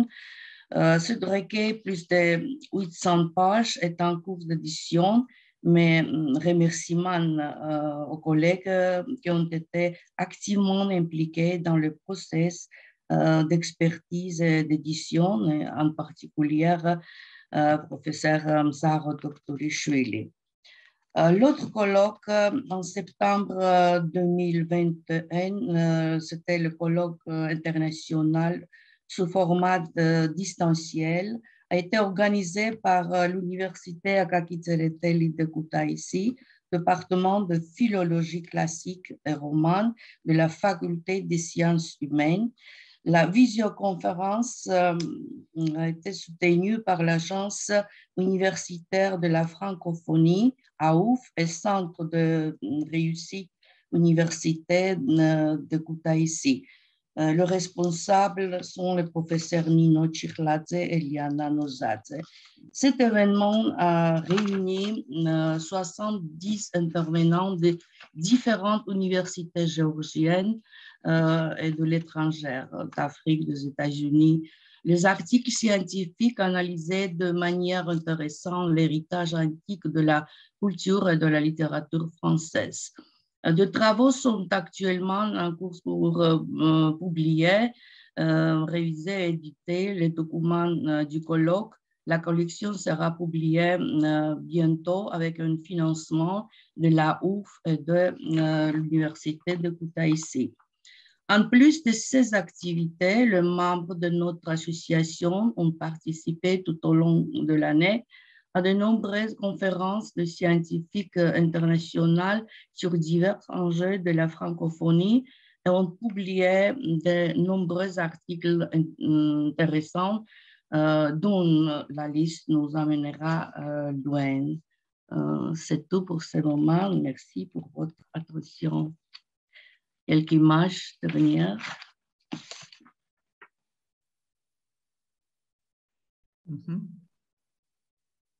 C'est l'autre certificat, mais ça sera juste comme ça. D'accord. Oui. Merci, merci beaucoup. Merci, Marina. Bon, je, je, dois ajouter, euh, c'était un colloque exceptionnel euh, quand elle a parlé donc du huitième colloque du Code Corps. Euh, en pleine pandémie, mais vous avez vu que toutes les règles étaient respectées quand vous avez vu la salle avec les participants présentiels. Euh, c'était un colloque, je dirais, je remercie de nouveau Madame Marina Giurgadze, je, l'ai remerciée je ne sais plus combien de fois parce que c'était une organisation exceptionnelle vraiment. Et maintenant, nous travaillons sur la publication et euh, les pages dépassent 800, donc c'est un gros travail que nous avons assumé et euh, nous espérons quand même publier ce euh, huitième numéro de notre revue euh, en début euh, de l'année prochaine. Merci beaucoup. Alors, pour continuer sur l'enseignement, toujours, mais maintenant, on va parler plutôt de, l'enseignement universitaire et je passe la parole à Nadia Sraladze euh, bon, qui dirige au sein de la section euh, la coopération interuniversitaire, mais qui travaille à l'Institut euh, à l'Institut français de Géorgie s'il te plaît. Merci beaucoup. Merci beaucoup, euh, Madame la Présidente Shirin Saro, Monsieur l'ambassadeur, Monsieur Chloé, Monsieur Ketata, Monsieur Javarishvili. Donc, c'est un grand honneur pour moi d'être euh, parmi vous encore une fois afin de vous présenter le bilan euh, de cette année écoulée depuis que la Renaissance, de la délégation de la Renaissance française est installée en Géorgie. En tant que représentante de la de la section coopération interuniversitaire et responsable Campus France à l'Institut français. Euh, je, suis, je me réjouis de vous présenter ce bilan plutôt positif de cette année 2021 malgré toutes les difficultés que nous avons euh, euh, pu rencontrer et nous avons dû traverser, nous pouvons quand même nous féliciter pour cette, pour cette année particulièrement riche et réussie pour pour les relations interuniversitaires et pour la francophonie universitaire euh, en Géorgie. L'année 2021 a énormément contribué euh, dans cette réussite, notamment coopération interuniversitaire et renforcement de la présence française dans le monde, dans le monde universitaire en Géorgie et la création de l'université franco-géorgienne qui reste un des principaux accomplissements de la coopération entre nos deux pays. En matière académique, bien évidemment, comme vous le savez déjà, c'est la création de l'Université franco-géorgienne, une des priorités également du dialogue à Paris, qui qui bénéficie d'un soutien euh, politique très fort. L'année 2021 a été très particulière et intéressante pour euh, l'Université franco-géorgienne, notamment avec euh, la signature d'un accord de double diplôme en viticulture et en onologie entre l'Université technique de, Géorgie et Supagran Montpellier. Donc, ce double diplôme franco, ce double diplôme en viticulture onologie bénéficie également d'un label euh, d'un programme de master européen Vinifera, ce qui veut dire que l'Université technique de Géorgie euh, collabora non seulement avec l'Université euh, Montpellier, mais avec d'autres partenaires euh, des différents pays euh, qui ont une culture aussi très importante dans la viticulture, comme l'Espagne, l'Italie, Portugal, etc. Donc, ce qui est très intéressant à souligner également, que le français obligatoire et renforcé est d'ores et déjà inséré dans le curricula, donc ce qui nous permet également d'atteindre un public plutôt large et anglophone et de leur montrer l'intérêt d'apprendre le français et surtout l'utilité de, de, la langue française pour leur euh, carrière professionnelle dans le futur. Euh, je ne m'attarderai pas beaucoup sur l'université franco-géorgienne puisque vous connaissez déjà le dispositif de double diplôme et ça a été déjà euh, abordé l'année dernière. Mais à part l'université de, franco-géorgienne, d'autres mémorandums de coopération ont été signés cette année. Notamment, euh, par exemple, je pense notamment à l'université de Versailles de Saint-Quentin-Yvelines et l'université de Géorgie qui ont signé un mémorandum de coopération pour mettre en place un master euh, un journalisme européen. Donc, euh, ce sera un master euh, donc euh, mettre en place avec l'université de, Versailles et la même université géorgienne a accueilli le bureau régional euh, du journal scientifique de référence en communication Hermès fondé par monsieur Dominique Bolton qui est un personnage éminent de, dans, le domaine scientifique et dans le domaine de, l'information et de communication. D'ailleurs, l'ouverture de ce bureau régional était l'objet de sa venue en Géorgie dont nous nous réjouissons euh, bien évidemment. Et c'est très important aussi de souligner que M. Dominique Bolton, à part de ses qualité scientifique dans le domaine euh, communication et de l'information, est un vrai militant pour la francophonie décomplexée. Euh, à part de ce, de ce, diplôme en journalisme européen, euh, nous avons signé également un autre accord de coopération entre l'Université du Caucase et Cage Business School dans la commercialisation du vin. Donc, il s'agit d'un éventuel double diplôme dans la commercialisation du vin. Donc, on est toujours dans le domaine du vin qui reste très présent dans, notre dispositif de coopération, qui est, euh, on peut dire, euh, ce qui, explique évidemment que la Géorgie et la France ont trouvé un, point très fort de coopération. Mais pas seulement, bien évidemment, on a d'autres projets de coopération dans différents domaines. Euh, donc, deuxième axe de travail pour nous, ça reste la promotion de la France et l'excellence de son, enseignement supérieur français en Géorgie. Donc, pour cela, nous organisons des salons et nous participons à de nombreux salons étudiants tout au long de l'année. Par exemple, cette année, nous avons participé à une dizaine de salons étudiants en Géorgie et nous avons également organisé un salon euh, intitulé Bienvenue en France. C'était deuxième édition euh, euh, de ce salon, mais qui s'est tenu en ligne bien évidemment au, mois d'avril. Donc pendant ces salons, trentaine d'établissements d'enseignement supérieur français ont participé, euh, y compris euh, les grandes universités françaises et des regroupements universitaires comme par exemple l'Université Paris-Saclay, les grandes écoles comme Sciences Po, l'école polytechnique et d'autres écoles de management et l'école d'ingénieurs. À, part des salons, euh, les, présentations sur les études en France sont organisées également dans les euh, nombreuses euh, universités en Géorgie, comme à Tbilissi, en distanciel ou en ligne, mais également dans les régions. Comme nous avons déjà abordé, demain, nous allons présenter les études en France et, et surtout l'intérêt d'apprendre le français à l'Université de Gori avec M. Javarishvili, dont je suis très, très contente, mais également récemment, nous avons visité l'Université Kutaisi, deux universités de Kutaisi, l'Université Teli la nouvelle Université internationale de ici Et donc, nous avons présenté nos, programmes de bourses euh, aux étudiants qui sont euh, particulièrement anglophones et nous avons donné, euh, j'espère en tout cas, l'intérêt d'apprendre également le français. En dehors de, ce, projet, nous avons euh, également visité l'université à euh, il y a deux semaines avec ma collègue Nastasia, ce qui est très important et intéressant pour nous parce que c'est une région multiculturelle par sa diversité religieuse et ethnique. Et dans cette région, le brassage culturel est plus présent qu'ailleurs en Géorgie ou dans, dans, dans, les autres régions de Géorgie, même dans, le Caucase, où l'orthodoxe grégorien euh, catholiques et musulmans se cohabitent euh, euh, ensemble. Et donc, c'était très important pour nous rencontrer les étudiants qui ont des différentes nationalités et, et voilà, religion. Donc, notre visite, nous sommes très contents parce que notre visite a donné l'idée et envie au recteur de réintroduire la langue française à l'université comme c'était enseigné auparavant.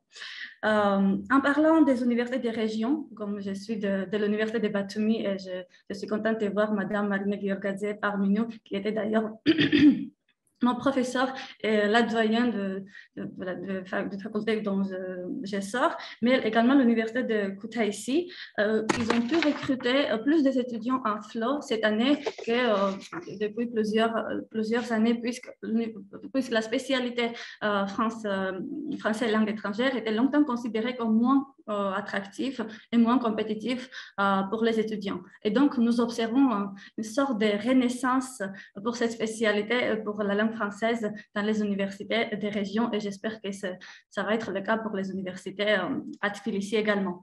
Évidemment, c'est, euh, cela nous, a dû un travail conjoint des universités, mais également le soutien de l'ambassade et de l'Institut français. Euh, et pour la promotion des études en France, Campus France euh, et notre secteur universitaire, nous avons mis en place une communication, euh, c'est-à-dire une campagne de communication stratégique intitulée Bienvenue en France. donc, la campagne, la campagne est déjà commencée à partir de, de ce mois-ci et une campagne d'affichage est déjà disponible dans le métro à Tbilissi, sur les abribus, sur les bus etc., pour attirer l'attention et pour faire euh, connaître les études en France. Alors, la mobilité euh, des étudiants vers la France, ça reste une des priorités pour nous. Donc, accroître la mobilité étudiantine vers la France euh, et surtout attirer les meilleurs étudiants avec des bons excellents parcours en sciences humaines sociales, mais également en sciences exactes, naturelles, etc. Donc, pour la meilleure le meilleur moyen d'attirer ces étudiants, ça reste quand même d'offrir euh, des bourses d'études. Et c'est pour cela que l'ambassade de France et l'Institut français, chaque année, offrent une quinzaine de bourses d'études euh, en master aux étudiants géorgiens, cofinancés avec le gouvernement géorgien. Mais nous essayons de, de, faire une sorte que plus en plus de bourses soient délivrées aux étudiants géorgiens, notamment les bourses comme prestigieuses bourses du gouvernement français, comme par exemple Bourse Eiffel, d'autres bourses d'établissements français, etc. Également, une bourse doctorale de l'Université franco-géorgienne euh, est disponible, qui, est ouverte à tout, euh, tout étudiant géorgien de l'université locale. Il souhaite effectuer une mobilité de deux, trois mois dans les universités françaises. est ce qui euh, a souligné également que pour tous ces dispositifs de financement, la francophonie reste bien évidemment privilégiée et mis en avant. Afin de renforcer la visibilité de, la culture scientifique française euh, et de la faire rayonner, cette année, la première mobilité euh, postdoctorale a été mise en place euh, par l'Institut français de Géorgie en coopération avec la Fondation Rustaveli. Cela a permis aux, gens scientifiques d'effectuer une mobilité postdoctorale dans, dans le domaine différent. Cette année, par exemple, nous avons eu deux lauréats de bourse postdoctorale, un projet de recherche concernait euh, euh, l'harmonisation de l'harmonisation euh, de la loi du vent. Euh, on reste toujours dans le domaine du vent euh, très présent, comme je, dis, et l'autre concernait sur, sur les problématiques cognitives et du sommeil des étudiants.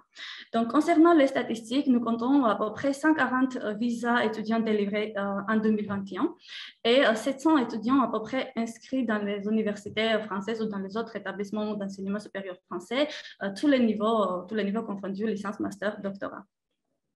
Euh, voilà, plusieurs événements de haut niveau, euh, de haut niveau ont été organisés avec euh, nos partenaires locaux ou internationaux cette année. Notamment, j'aimerais bien vous souligner que, que les gens très importants, notamment des experts français, ont participé à la conférence internationale organisée par l'UNICEF sur les droits des enfants et l'incarnation de cette, question dans le, dans curricula universitaire. Cette année, la conférence a eu lieu à l'université de Batumi. L'année dernière, c'était à l'université Kutaisi et l'année prochaine, ça va être l'université euh, Des réformes judiciaires et la question des juges euh, de l'enfant ont été abordées également euh, en invitant les juges français à une conférence organisée, organisée à l'Université euh, de l'Europe en partenariat avec l'Institut français.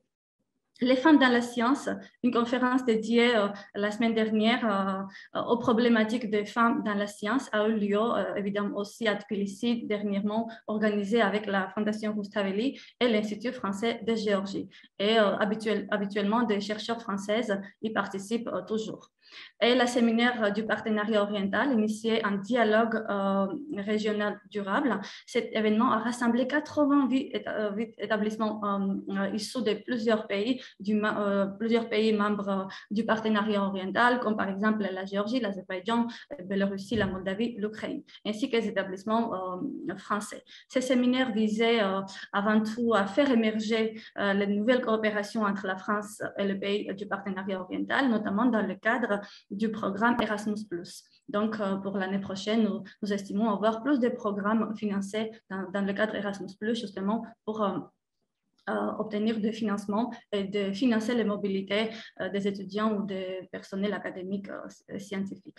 Donc, les objectifs, c'est brièvement ce qu'on a pu faire cette année, en 2021, mais les objectifs pour les années à venir resteront les mêmes que l'année dernière, et notamment accompagner la Géorgie dans sa démarche d'européanisation et d'internationalisation de leurs ressources universitaires, euh, promouvoir la France comme la meilleure destination euh, des études supérieures et de la recherche, et euh, de cet égard, bien évidemment, promouvoir la francophonie et l'utilité de la langue française, accroître la mobilité vers la France et faire rayonner l'enseignement supérieur français en Géorgie tout en mettant au corps de, la stratégie de communication les alumni ou les anciens euh, diplômés qui ont réussi dans leur carrière, effectuer voilà, une communication plutôt euh, agressive euh, et bien évidemment bien évidemment favoriser l'enseignement euh, en langue française, mais également sur place avec une délocalisation des diplômes, comme dans le cadre de l'université franco-géorgienne.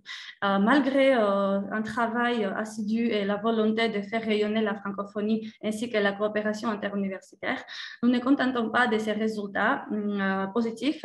Nous continuons d'œuvrer pour une francophonie universitaire encore plus présente, encore plus, plus utile et encore plus riche. Merci de votre attention. Merci Natia. Euh, donc euh, pour cette information très très chargée et euh, j'espère que mes collègues ont appris beaucoup de choses sur la coopération interuniversitaire. Monsieur David Turtry doit être là, qui est coordinateur de l'Université franco-géorgienne.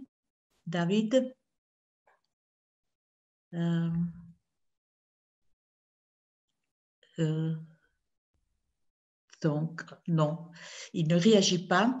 Euh, tout à, l'heure, tu as évoqué l'université d'État de Kutaisi. Aujourd'hui, dans cette université, on a célébré la journée internationale des professeurs de français.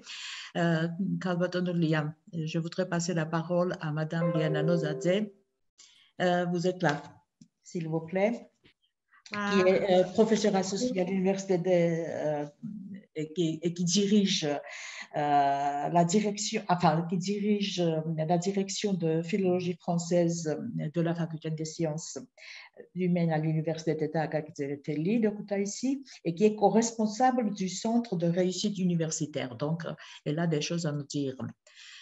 Bonjour à toutes et à tous. Merci euh, pour cet honneur, Madame la Présidente, de représenter l'Université d'État Kakitsereteli à l'Assemblée générale de la délégation de la Renaissance française en Géorgie. Maintenant, je vais partager l'écran.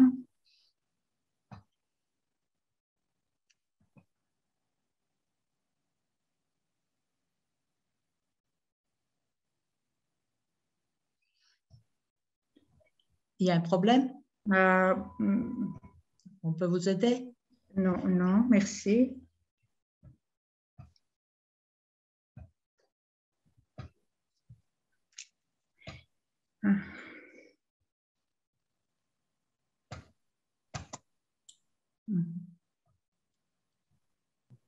Est-ce que vous voyez mon, mon écran maintenant? Ce n'est pas partagé quand même on ne voit rien. Enfin, on voit. Ah. Qu'est-ce qui se passe Donc, vous vous appuyez sur la présentation Liana oui, Ça ne s'ouvre pas. Excusez-moi. Bon, que peut-être. Euh, გვერდზე დააკლიკეთ და მე თავიდან დააკლიკეთ. გვერდით და სხვაგან დააკლიკეთ. vous cliquez ailleurs quelque part et maintenant vous cliquez deux fois sur la présentation. Ouais. Euh, euh, sinon, euh, le temps, oui, là, voilà, allez. Mm -hmm.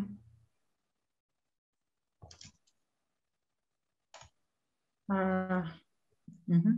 Mm -hmm.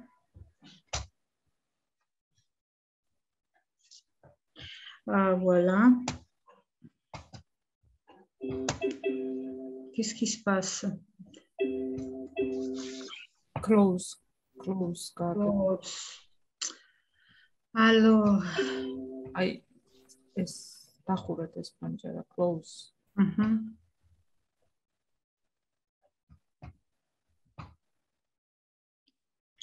voilà.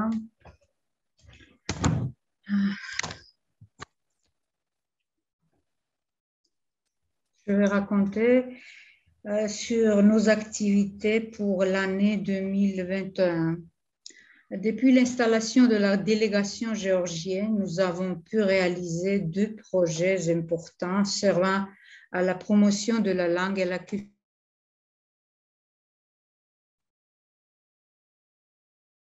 On ne vous entend plus, Lia.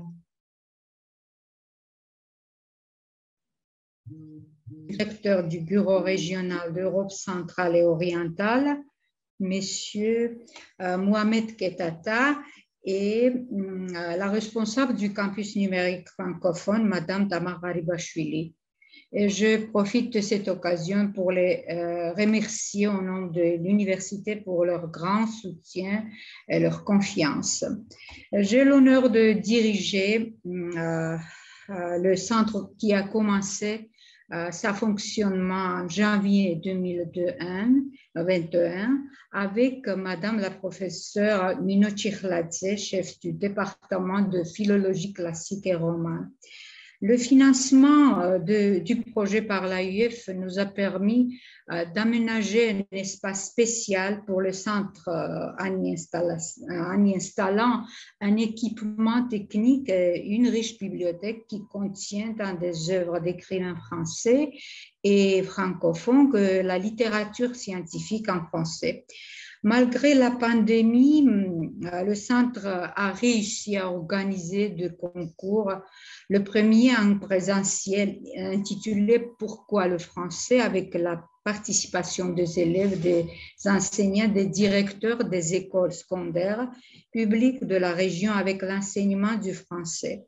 La deuxième concours en ligne portait sur la création du logo pour le CRU avec la participation des étudiants euh, nous avons organisé deux activités culturelles et éducatives en présentiel, jeux intellectuels quoi ou quand, euh, thème la France et les pays francophones avec la participation d'étudiants de notre université de euh, de l'université partenaire du projet. Euh, exposition de photos, Koutaïsi est une ville parisienne à laquelle ont participé le maire de notre ville, l'administration autonome de Koutaïsi et diverses institutions de la ville. Euh, dans le cadre de la célébration du 60e anniversaire de l'AIF, nous avons organisé deux colloques scientifiques en ligne colloque au niveau local, méridien de la francophonie. Les actes du colloque sont publiés dans un recueil d'articles et sur le site officiel du CRU. colloque international Antiquité et culture française, dont les actes euh, seront publiés en décembre de l'année en cours. Euh, et nous avons organisé des manifestations culturelles, portraits littéraires, écrivains francophones, euh, journée du professeur de français intitulée Mon professeur de français, portrait inoubliable, euh, qui vient d'avoir lieu en ligne cet après-midi.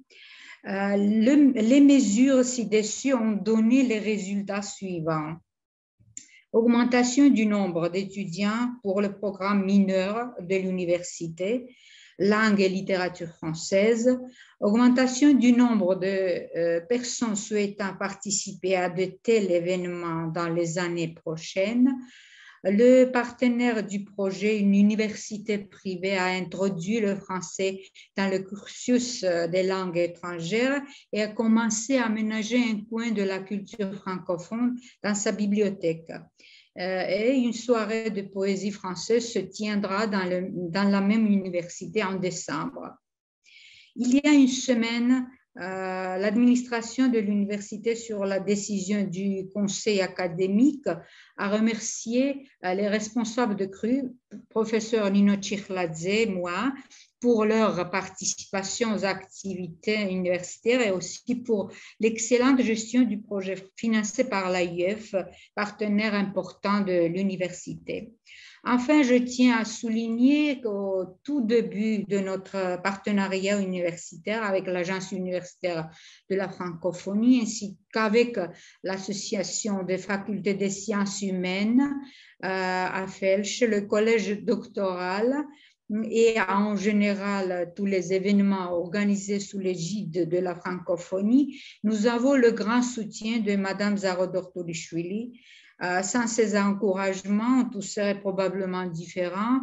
Euh, je voudrais profiter de cette occasion pour euh, remercier Mme Zarodortolishvili au nom de l'université pour son soin éternel envers nous. Pour terminer, je voudrais souligner que l'Université d'État Akakitzereteli euh, synergie avec l'AUF, la FELCH et le Corps fera de son mieux pour apporter des résultats dans la popularisation et la promotion de la langue et de la culture française dans notre région dans les années à venir. Merci de votre attention et, excusez-moi euh, pour euh, cette... Désolée. Merci beaucoup. Euh, vous ouvrez, s'il vous plaît, votre micro. Vous avez le micro, le micro fermé. Enlevez, oui, c'est ça, enlevez le, partage, s'il vous plaît. Merci beaucoup. Euh, oui.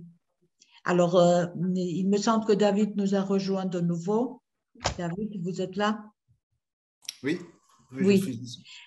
Oui, parce que Natia a un peu euh, parlé de, l'université franco-géorgienne, mais j'espère que vous avez des choses à y ajouter. Oui, euh, euh, j'étais là au début de la réunion et puis j'avais une, autre réunion avec la France entre deux, donc voilà, j'étais obligé de, vous quitter. merci de m'avoir invité pour, pour cette, cette belle réunion de, de, la première année euh, de la Renaissance française en Géorgie. Euh, l'université euh, franco-géorgienne participe à la dynamique de la francophonie et de la langue française dans, le pays au niveau de, de l'enseignement supérieur. On a nos premiers programmes, je pense que Natia a dû en parler, qui ont été ouverts l'année passée.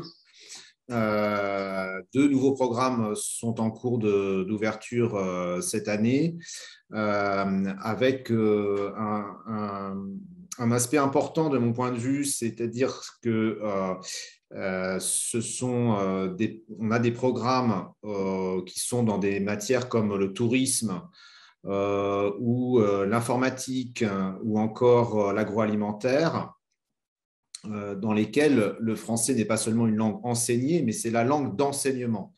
Euh, et on fait euh, un effort important pour convaincre les partenaires universitaires géorgiens, mais aussi français, que le français peut être une langue d'enseignement dans des matières comme l'informatique, où pourtant l'anglais domine encore plus qu'ailleurs, je dirais, Hein, il est euh, compris euh, dans l'enseignement en France. Euh, donc ça, c'est aussi l'originalité de notre démarche. c'est aussi du, français langue étrangère qui, qui, est mis en place pour les formations qui sont, qui sont en anglais. Et puis, je, voudrais aussi insister sur le fait qu'on a une, une coopération très étroite avec l'AUF, euh, et l'Institut français de, Géorgie, euh, qui est qui s'est illustré euh, récemment par le recrutement d'une stagiaire FLE, Sabrina Faguet, qui était parmi nous en tout cas tout à l'heure, je l'ai vu, et qui donne des, des, cours de français à nos étudiants, aux étudiants de, de, TCU, mais aussi à des étudiants qui viennent d'autres universités pour une partie de nos programmes qu'on a ouverts euh, vers des universités, y compris ILIA et d'autres universités, euh, et qui, euh, évidemment, est un apport aussi très précieux dans la mesure où les étudiants apprécient beaucoup d'avoir des locuteurs de langue française venir, venir en l'occurrence de France pour, pour porter la bonne parole, si je puis dire. Donc voilà, je ne vais pas en dire plus et je vous remercie encore de, de m'avoir invité pour, pour participer à cette réunion. Merci David pour toutes ces précisions. Euh, donc, on, reste toujours dans la coopération scientifique et euh, Manana, vous êtes là. Je voudrais passer la parole à Manana Javarishvili. Manana. Oui. Manana Javarishvili, qui est professeur associé à l'Université d'État ILIA et qui dirige au sein de la délégation à la section Histoire. Merci, madame. vous comprenez bien. je, m'excuse, je dois vous quitter. Au revoir à tout le monde et merci beaucoup. Ah, Georges. Ah, oh, et je voulais terminer par la musique quand même. je vais vous jouer un morceau une autre fois. D'accord, d'accord. Merci euh, d'avoir été avec nous. Tout simplement, je voulais dire qu'on avait programmé pour cette année euh, un, concert avec Georges. Il devait venir au mois d'avril à Tbilissi, mais le Covid l'a empêché. Sinon, il y avait, euh, on avait prévu un, très beau projet, donc je voulais qu'il en parle, mais on, va reporter ça, ce plaisir pour l'année prochaine. À de meilleurs temps, voilà. D'accord. Excusez-moi de vous interrompre. Euh, pardon. À bientôt. À bientôt, Georges. Bonjour à toutes et tous. À tous. Je me réjouis de participer à cet événement très, très important pour la francophonie géorgienne. Euh, donc, je suis Manana Jawarishvili, professeur en histoire à l'Université d'État ILIA et en tant que membre euh, du bureau d'histoire, euh, j'aimerais présenter une, très brève le compte rendu du bureau d'histoire de l'année 2021. Donc, c'était c'est juste un bref aperçu du travail du bureau d'histoire élaboré pendant une, dans cette, pendant une année passée. Donc, hum, quant aux activités de notre bureau d'histoire, premièrement, nous sommes en train de terminer un livre sur les relations franco-géorgiennes. Euh, c'est le livre dans deux langues, géorgienne et française. Et euh, les auteurs du livre sont des élèves de l'école française du Caucase. Ils ont travaillé sous la direction de l'enseignante d'histoire euh, de cette école, Nino Lachri, Madame Nino Lachri, et sous ma direction euh, scientifique. Ces livres couvrent assez longue période historique des relations franco-géorgiennes, depuis le Moyen Âge jusqu'aux nos jours, et on doit remarquer que les articles du livre nous proposent non seulement le récit euh, ou les informations sur l'histoire politique, diplomatique ou culturelle entre la Géorgie et la France, mais également des biographies des personnalités géorgiennes qui étaient étroitement liées à la France, ainsi que les Français liés à la Géorgie, qui nous donnent des histoires humaines dans le contexte des relations de deux États. Euh, nous espérons que la publication du livre bilingue en deux langues, géorgienne et français, comme j'ai mentionné, également euh, richement illustré par les élèves, euh, les élèves très doués et très motivés, aura lieu au commencement de l'année prochaine. Nous, nous espérons, et Nino Lachri est ici elle, elle, peut dire quelque chose euh, en plus. Euh, et deuxièmement, nous sommes également en train de travailler sur une bibliographie des sources historiques euh, françaises et géorgiennes par thème, portant sur les relations franco-géorgiennes ayant pour but d'élaborer des questions pour de futures recherches scientifiques.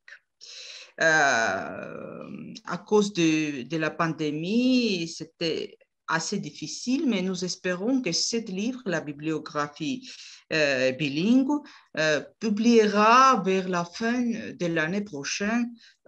nous, nous espérons donc. Voilà nos activités de cette année. Et pour la future, nous planifions aussi la traduction en géorgienne un livre historique de Georges Arachidze, Le système religieux de la Géorgie païenne, analyse structurale d'une civilisation. Euh, et euh, moi-même, je dirige euh, un livre sur l'histoire des relations franco-géorgiennes, la monographie, et je pense que ça va apparaître 2023 à peu près. Donc, euh, je vous remercie, c'était tout. Euh, c'était notre petit et bref euh, compte rendu. Merci pour l'attention. Merci, Madame. Nino, là, si elle veut ajouter quelque chose. Sinon, moi, je trouve c'est extraordinaire que les, que les élèves de l'école française du Caucase soient impliqués dans ce beau projet. Et euh, je connais un peu des détails et je, vous, je, sais que c'est quelque chose d'extraordinaire, vraiment. Euh, et c'est une très belle motivation aussi pour d'autres élèves de s'impliquer dans des projets, euh, je dirais déjà scientifiques, tout en étant encore. Merci beaucoup à Nino Lachery, bien sûr, l'enseignante de ces élèves, très motivée et très douée. Merci beaucoup. Bon, donc euh, on revient à la francophonie. Tamar, tu es là? Sinon, oui, oui, euh, oui, je suis là. Mhm. Alors, Tamar qui dirige de la euh. délégation à la section francophonie, s'il te plaît. Et le responsable du campus numérique francophone en Géorgie. Mhm. Voilà, si vous voyez mon écran. Oui, ça va. Très bien. Donc, euh, bonsoir, bonsoir tout le monde, Madame la Présidente. Euh, je suis très honorée aujourd'hui d'être avec vous. Euh, vous avez déjà écouté Monsieur le directeur régional, Monsieur Ketata, qui a brièvement raconté concernant l'Assemblée générale un événement très, très important dans la vie de l'AUF. Euh, il, il a également un peu parlé du changement de statut.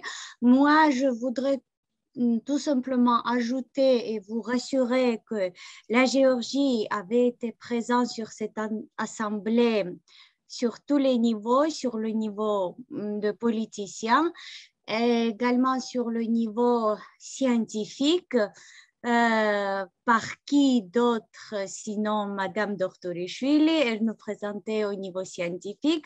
Et pour euh, cet événement, euh, l'AUF a fait un recueil d'enregistrements vidéo. Ça s'appelle 60 visages de la francophonie. Là-bas aussi, la Géorgie avait été présentée par notre vaillante francophone, Madame Miranda Lomidze. Moi, je vais vous raconter très brièvement ce que l'AUF a fait euh, en 2021. Et comme vous avez également entendu, Monsieur le directeur, qui avait esquissé la nouvelle stratégie, euh, donc euh, la nouvelle stratégie pour l'AUF, c'est l'orientation euh, euh l'AUF s'est orienté vers euh, l'insertion professionnelle et l'entrepreneuriat. Et donc, cette année, nous avons essayé de mettre le focus sur le centre d'affaires et des nouvelles technologies de Tbilissi, qui avait été créé en 2000.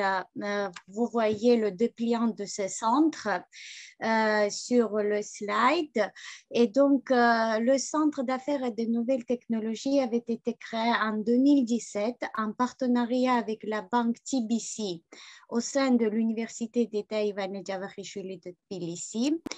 Euh, l'objectif euh, essentiel du centre, c'était de nouer le dialogue entre le monde académique et les milieux économiques. Ce projet est né tout d'abord en réponse au faible rythme de création d'emplois en Géorgie et depuis le centre euh, fonctionne, euh, le centre est divisé en deux espaces, un espace professionnel et un espace social. L'espace professionnel sert au développement de savoir-faire et des compétences des étudiants dans les domaines spécifiques.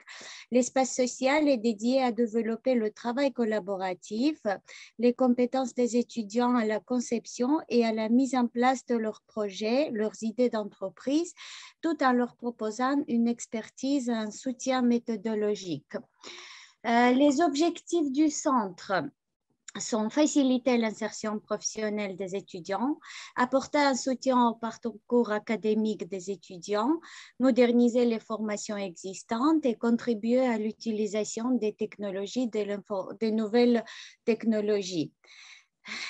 Et chaque année, euh, ce centre organise des formations euh, donc, une partie des formations s'est organisée par l'AEF, co-organisée par l'AEF, et l'autre partie par la Banque TBC.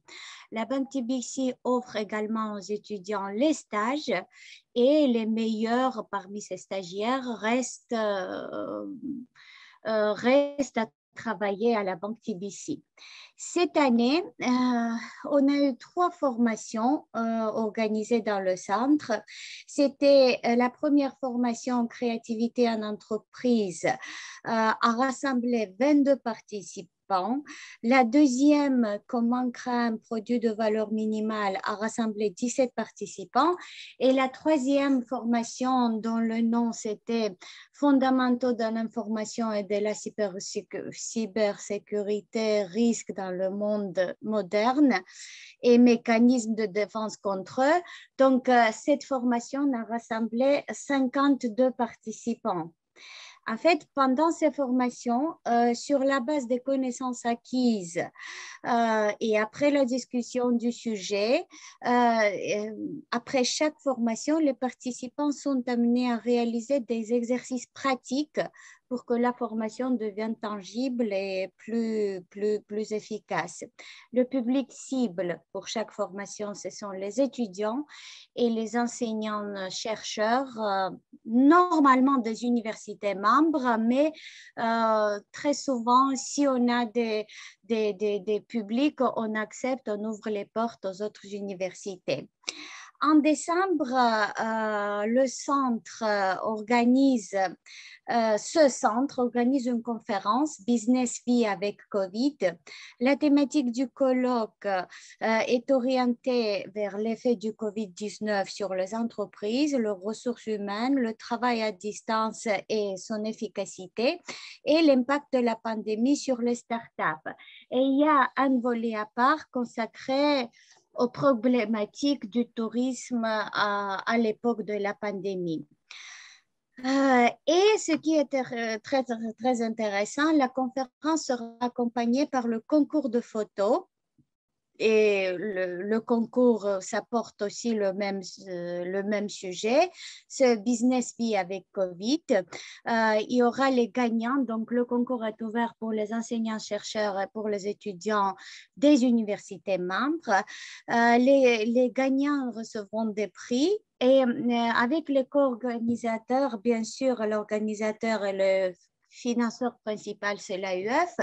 Mais ce qui est très intéressant, on a pu avoir les autres financeurs, c'est la Banque Géorgie, l'Association des photographes de Géorgie, euh, il y a les deux éditions, il y a le Conseil des femmes entrepreneurs, euh, Association géorgienne des producteurs de thé biologique et Maison de fromage. Euh, et donc, c'est ça, ça a été le, but euh, de ce centre de rassembler ensemble le, monde académique, le monde économique. Euh, voilà, je voulais citer parmi les actions de l'AEF les actions de, du CRU, du Centre de réussite universitaire.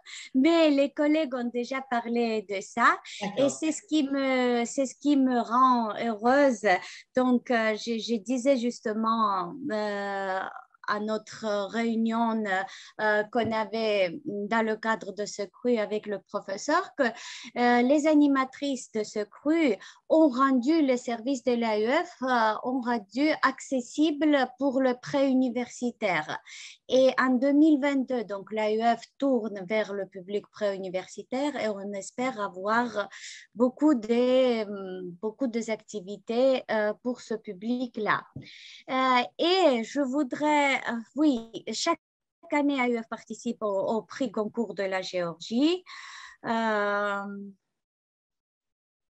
Euh, il y a les stages professionnels. L'AUF et RFI ont signé une convention de partenariat et dans le cadre de ce partenariat, chaque année, l'AUF recrute et propose les stages, les stages aux, étudiants les stages à distance.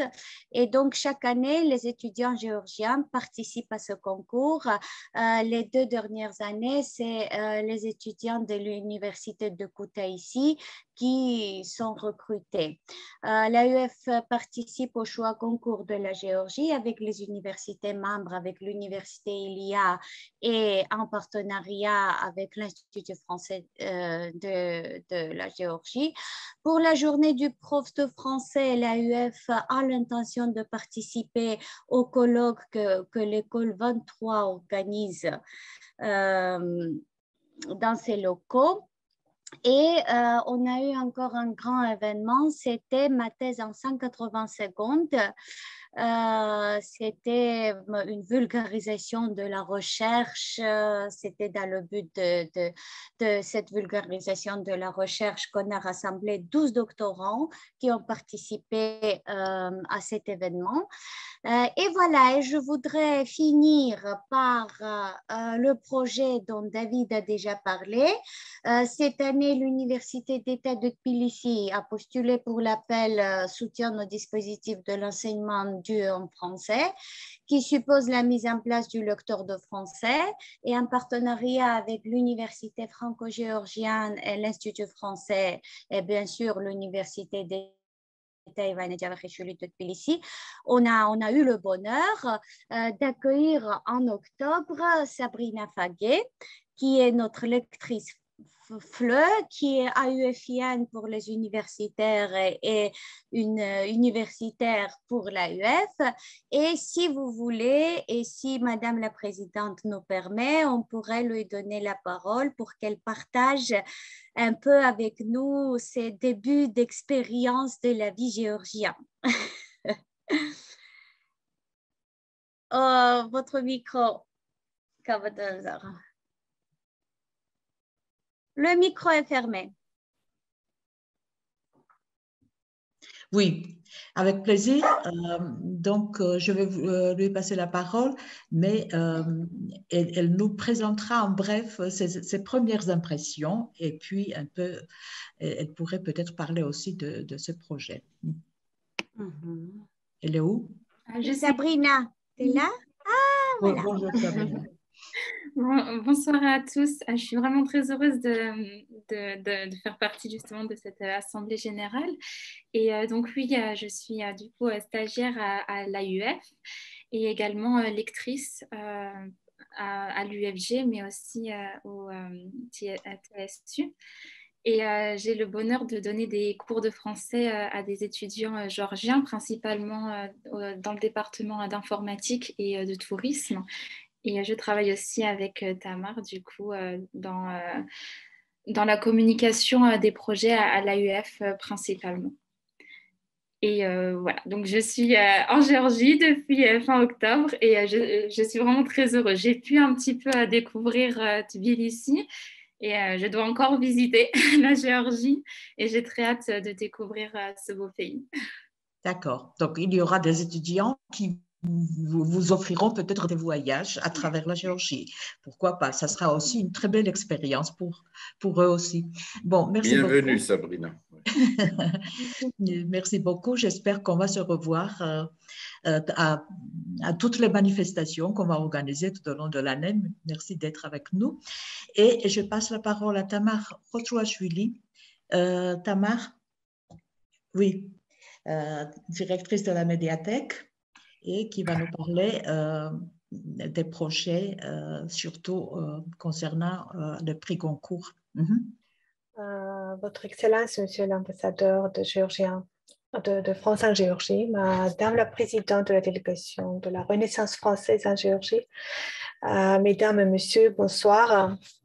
Tout d'abord, je félicite tous les acteurs de la francophonie en Géorgie de ce premier anniversaire euh, de, la délégation de la Renaissance française en Géorgie ainsi que de la Journée internationale des professeurs de français.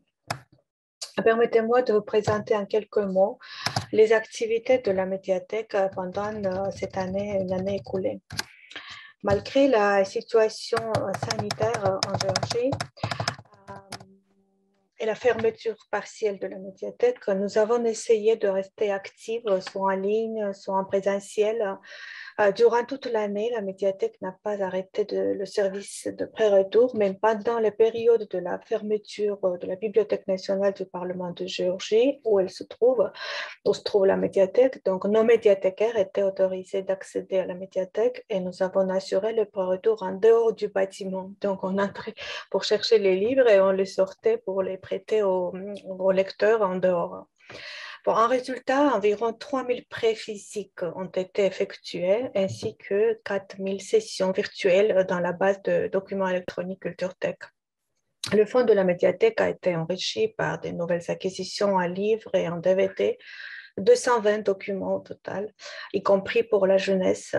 Et la dernière commande de livres publiés à la rentrée, littéraire, à la rentrée de cette année et de lauréat des prix littéraires, qui donc les prix littéraires décernés cet automne, environ 50 livres sont commandés déjà et sont attendus à la fin de l'année. Ces nouveautés sont présentées chaque semaine sur le compte Facebook de l'Institut français de Georges. Euh, durant toute l'année, euh, la médiathèque a maintenu en ligne son club de conversation en français hebdomadaire animé par Alexandre Grosch, un bénévole français résidant en France. En partenariat avec l'École française du Caucase, les ateliers de, la bande dessinée en ligne ont été organisés pour les élèves. Et donc, la médiathèque a mis en place plusieurs événements littéraires en ligne c'était les présentations des traductions des auteurs français et francophones récemment publiées dans le cadre du programme d'aide à la publication de l'Institut français ou avec le soutien du Centre national du livre du mouvement et de l'immobilité de Douve de Yves Bonfoy, Les séquestrés d'Altona de Jean-Paul Sartre, Au revoir la haute de Pierre Lemaître, Le rocher de Tanios d'Amin Malouf, auteur libanais. Présentation de traductions géorgiennes d'œuvres d'auteurs québécois. L'habitude des bêtes de Lise Tremblay, la petite fille qui aimait trop les allumettes de Gaëtan Saucy, l'enfant qui parlait, de, qui parlait la langue du chien de Johanna Grudin. Nous avons organisé également une rencontre avec Elena Botorishvili, écrivaine canadienne d'origine géorgienne, publiée euh, par les éditions Boréal au Canada présentation du roman Les exilés du Caucase euh, d'Alexandre Najar dans le cadre de l'événement organisé par la délégation de la Renaissance française à, l'honneur euh, du, Liban. Participation dans la troisième édition du prix Garanti Kikoze décerné par la maison d'édition Nagora à la meilleure traduction du roman d'expression française. Organisé aussi une rencontre avec Dominique Volton, un spécialiste des médias, créateur de la revue Hermès. Et euh, dernièrement, c'était la rencontre avec Anna Mouradova, écrivain et spécialiste de la langue et littérature bretonne trois événements. Tous ces événements ont été diffusés en direct euh, sur le compte de Facebook de l'Institut français de Géorgie et enregistrés en même temps. Trois manifestations euh, sont également programmées euh, cette année. Donc, auront lieu avant la fin de l'année c'est la présentation de l'ouvrage des écrivains face à la persécution, au massacre de masse et au génocide, publié avec le soutien financier de l'Institut français de Géorgie. Euh, ce sera en présence des auteurs, euh, en ligne bien sûr, mais en présence des auteurs euh, Luba Jurgenson et Atinati Mamatsashvili, ici présente, je, je l'ai vu. présentation de la nouvelle traduction géorgienne du roman d'Albert Camus, Le premier homme. Excellente traduction de Georges Ekizashvili, commandeur de l'Ordre des Palmes académiques. Le livre a été publié dans le cadre du programme d'aide à la publication de l'Institut français euh, de Géorgie et sera présenté par Bela Rabeishvili, professeur associé de l'Université d'État Ivan Et dans le cadre du partenariat avec la Maison des écrivains de Géorgie à l'Institut français, soutient le festival littéraire en ligne à destination des pays francophones qui aura lieu en, décembre. Euh, dans le cadre de, notre programme d'aide à la publication, et avec, le soutien du Centre national du livre, plusieurs traductions des auteurs français ont vu jour, euh, jour en 2021 donc, euh, ce sont la loi du rêveur de Daniel Pénac, euh, traduit par Tina Beliashvili, Boussole de Mathias Sénard, traduit par Pata Javachishvili, Les saisons inversées de Renaud Lioté, traduit par Tina Beliashvili toujours, euh, le, Un balcon en forêt de Julien Gracq, traduit par Laluna Prochvili, et Kiraban, le têtu de Jules Verne, traduit par Tamar Abramishvili. À part ça, il y a aussi dix traductions qui sont soutenues par l'Institut français de Géorgie et dont cinq euh, vont sortir euh, la semaine prochaine et en décembre, donc avant la fin de cette année. Ce sont sur la télévision de Pierre Bourdieu, euh, traduit par Georges Georgi Balamitse, La Société du spectacle de Guy Debord, traduit par Lacha Farazi, L'Ordre du jour d'Éric Vuillard, traduit par Tamar Romitse, L'ogre de Jacques Chessec, écrivain suisse traduit par Nana Valiashvili, et de la poésie française, recueil de poésie d'Arthur Rimbaud, de Paul Verlaine, de Pierre de Ronsard, de Stéphane Mallarmé, de Victor Hugo, de Charles Baudelaire, traduit par Merab Mikeladze. Il y a encore cinq autres euh, livres qui seront publiés l'année prochaine, mais dont les droits d'auteur ont été déjà pris en charge par l'Institut français. À la publication, une vingtaine d'exemplaires de chaque titre ont été diffusés auprès de personnalités littéraires, écrivains, journalistes des émissions littéraires, rédacteurs de revues littéraires, bibliothèques publiques, y compris dans les provinces, ainsi qu'auprès des bibliothèques universitaires. Ces dons de livres sont complétés par les livres revues français qui servent aux différents établissements de région pour la création des coins français, par exemple à l'Euroclub de Quarelli en Carétie, à la bibliothèque municipale de Roulo, région montagneuse de Adjari. Un lot de 54 livres est prêt et sera, euh, sera livré demain à l'Université d'État de Gorée aussi. Donc, dans le cadre de, de, partenariat, la médiathèque a offert un certain nombre de livres français à l'école française du Caucase également. Et donc, avec euh, l'Université d'État ILIA et l'Agence universitaire de la francophonie, la médiathèque a participé euh, dans la mise en place de la deuxième édition du choix concours de la Géorgie L'auteur du livre gagnant, Hervé Letellier, sera invité à Géorgie pour la remise du prix au moment de la sortie de la traduction géorgienne de son livre euh, L'anomalie. La troisième édition du choix concours de la Géorgie est actuellement en cours. Et à la fin, je profite de mon intervention et je félicite chaleureusement Khatounam Zareloua de la distinction, la médaille d'or des valeurs francophones qu'il a reçue aujourd'hui. Je lui souhaite des succès, des succès dans sa vie poétique. Je vous remercie de votre attention. Merci beaucoup.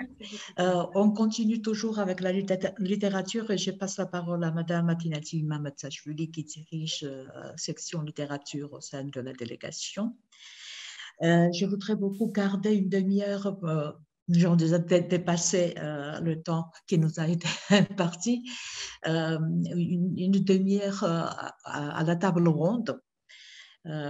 et donc, il y a Merab Mikeladze qui doit intervenir et Marina Balavadze. Et après, donc, on va passer à la table ronde et après, on va clore euh, avec l'annonce des projets à venir pour l'année euh, prochaine.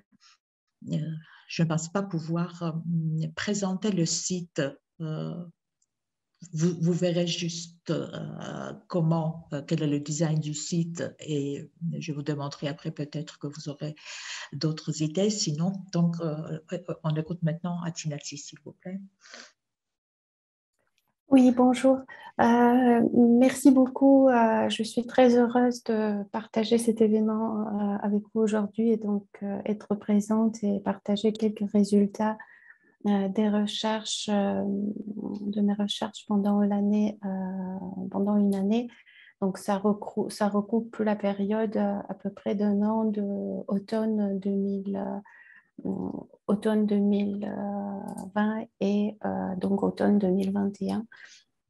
Donc, actuellement, je poursuis mes recherches dans le domaine de littérature francophone, donc littérature euh, luxembourgeoise, belge et euh, française, euh, et le rapport des écrivains donc, de ces trois espaces francophones avec l'antisémitisme. Mon projet de recherche actuel écrivain a été soutenu par la Fondation luxembourgeoise pour la mémoire de la Shoah et l'œuvre Grande-Duchesse Charlotte. Donc, c'est un projet euh, euh, pour une durée de six mois donc, euh, qui, a, hum, qui a débuté en septembre et qui prend fin en février 2022. Les résultats scientifiques qui ont été obtenus durant cette année ça regroupe euh, et qui sont euh, donc surtout que la majorité de ces résultats sont en lien avec la francophonie et euh, les littératures de langue française. Donc ces résultats, on peut les résumer de manière suivante. Donc il y a une dizaine d'articles, donc dix articles dont trois sont accessibles actuellement en ligne et sur le site de, la revue, soit sur le site de la revue, soit sur la plateforme Academia. Euh, deux articles sont euh, sous presse et seront publiés euh, en décembre. Et donc, les autres articles sont en cours de publication pendant l'année 2021-2022. Il y a également cinq conférences auxquelles j'ai euh, j'ai participé donc euh, cinq interventions qui ont été présentées, euh, que ce soit au Luxembourg, à Montpellier, à Sofia, Tbilissi et Vilnius.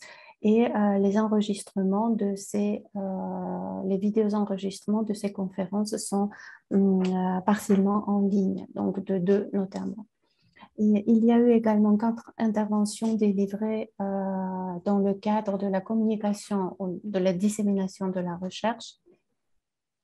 Et euh, il y a eu deux cours délivrés sur les littératures francophones, euh, dont la littérature belge et luxembourgeoise, qui sont totalement inconnues par le public géorgien. Donc, ces deux cours ont été délivrés en ligne aux étudiants géorgiens dans le cadre du séminaire euh, de Madame, euh, dirigé par Madame Zarodor sur la littérature francophone à l'Université d'État Ilia. Euh, donc, dans le cadre de ce, de ce cours, des textes ont été, des textes, de brefs textes traduits en géorgien ont été analysés ensemble avec les étudiants. Il y a eu également, donc j'ai organisé avec une collègue euh, de l'Université du Luxembourg, nous avons organisé euh, deux journées d'études euh, en juillet qui ont été consacrées au thème de déposséder, déposséder, à mécanisme de dépossession et à leur représentation en Europe pendant la Seconde Guerre mondiale. Et ces journées ont réuni une centaine de participants et euh, donc, euh, euh, ça a eu même répercussion aussi dans les médias au Luxembourg. ma communication, ma propre communication portait pendant ces deux journées portait sur les littératures francophones, notamment les écrivains français et luxembourgeois. Et je voudrais aussi souligner qu'il y a une publication que j'ai faite, donc une interview que j'ai réalisée avec un écrivain luxembourgeois un écrivain de langue française, Jean Sorante, euh, qui, notamment sur son roman euh, La guerre du temps qui est apparu en 2020 et qui concerne notamment euh, qui, concerne la mémoire, l'histoire, l'antisémitisme, la Deuxième Guerre mondiale. Et je voudrais également souligner que les deux volumes des actes du colloque sont en préparation actuellement et surtout, il y a cette anthologie des littératures francophones que, nous sommes en train de préparer euh, avec Zaro Dortorishvili qui est beaucoup impliqué dans le projet, beaucoup plus que moi. Et euh, donc, euh, il y a plusieurs acteurs dans, ce projet de publication. Donc, il y a Gerardo Aterenza que j'ai vu justement ici présent et beaucoup d'autres qui contribuent, donc ça sera une ça sera une euh, une anthologie euh, où il y aura euh, comme des textes présentation de ces différentes littératures francophones qui seront suivis des textes traduits, des extraits traduits. et finalement, je vais pour clore donc cette présentation, il y a eu cette publication que, que, nous avons réalisée avec mes collègues de l'Université du Luxembourg Elga Mitterbauer et Arvisep. Euh, donc, euh, c'est une publication qui concerne euh, les représentations spatiales des persécutions en Europe occupée et qui concerne notamment comme les littératures francophones aussi, non francophones. Voilà, donc je, je, vais rester prête et je vais conclure là-dessus. Merci beaucoup. Euh, merci Tina. Euh, donc je, je c'est une année très chargée, ça a été une année très très chargée vraiment pour toi, mais tout ce que tu as présenté, il faudra que je euh, qu'on le mette sur le site de, de, notre délégation et sur le site de la de l'association aussi. Mais je demanderai euh, à tous les participants euh, d'envoyer des textes de leur présentation et surtout les publications que vous avez réalisées pendant euh, cette année et ce que vous prévoyez euh, pour l'année prochaine. Et je passe la parole à Marina Palavadze, euh, directrice de la maison d'édition Agora la maison d'édition qui travaille surtout sur la publication des œuvres traduites du français en géorgien. Marina, t'es où? Je suis là. Oui. Ah.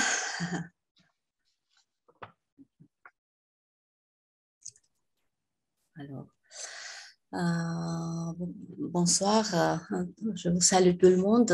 Je suis très heureuse d'avoir la possibilité de participer euh, ce soir à cette réunion et de faire un petit compte rendu de ce que nous avons fait, de ce que nous allons faire. Euh, donc, euh, la publication des traductions des auteurs euh, français et francophones est l'objectif majeur de notre maison d'édition. nous avons déjà publié plus d'une centaine d'ouvrages à côté de grands écrivains et penseurs français tels que Jean-Jacques Rousseau, René Descartes, Claude Lévi-Strauss, Antoine de Saint-Exupéry, Albert Camus, Roland Barthes, Romain Gary, etc., figurent les noms des auteurs francophones, des écrivains suisses, belges, canadiens, libanais. Ce sont Blaise Sandrard, Charles Ferdinand Ramu, Joël Dicker, Gaëtan Soussi, Joanna Krouda, Ami Malouf, Isabelle Berry, etc. Euh, nous avons l'intention d'enrichir encore plus cette liste par euh, d'autres auteurs d'expression française. Euh, et voilà, cette année, malgré la pandémie, nous ne nous sommes pas arrêtés et en 2021, nous avons publié une dizaine de livres, parmi lesquels figurent les traductions des deux ouvrages des auteurs québécois, l'une du roman de Lise Tremblay et l'autre des nouvelles de Stéphanie Pelletier, réalisées avec le concours du Conseil des arts de Canada. Aussi, dans le cadre du concours euh, L'Europe créative, euh, nous avons publié les poèmes du poète belge euh, Yves Bonfoy.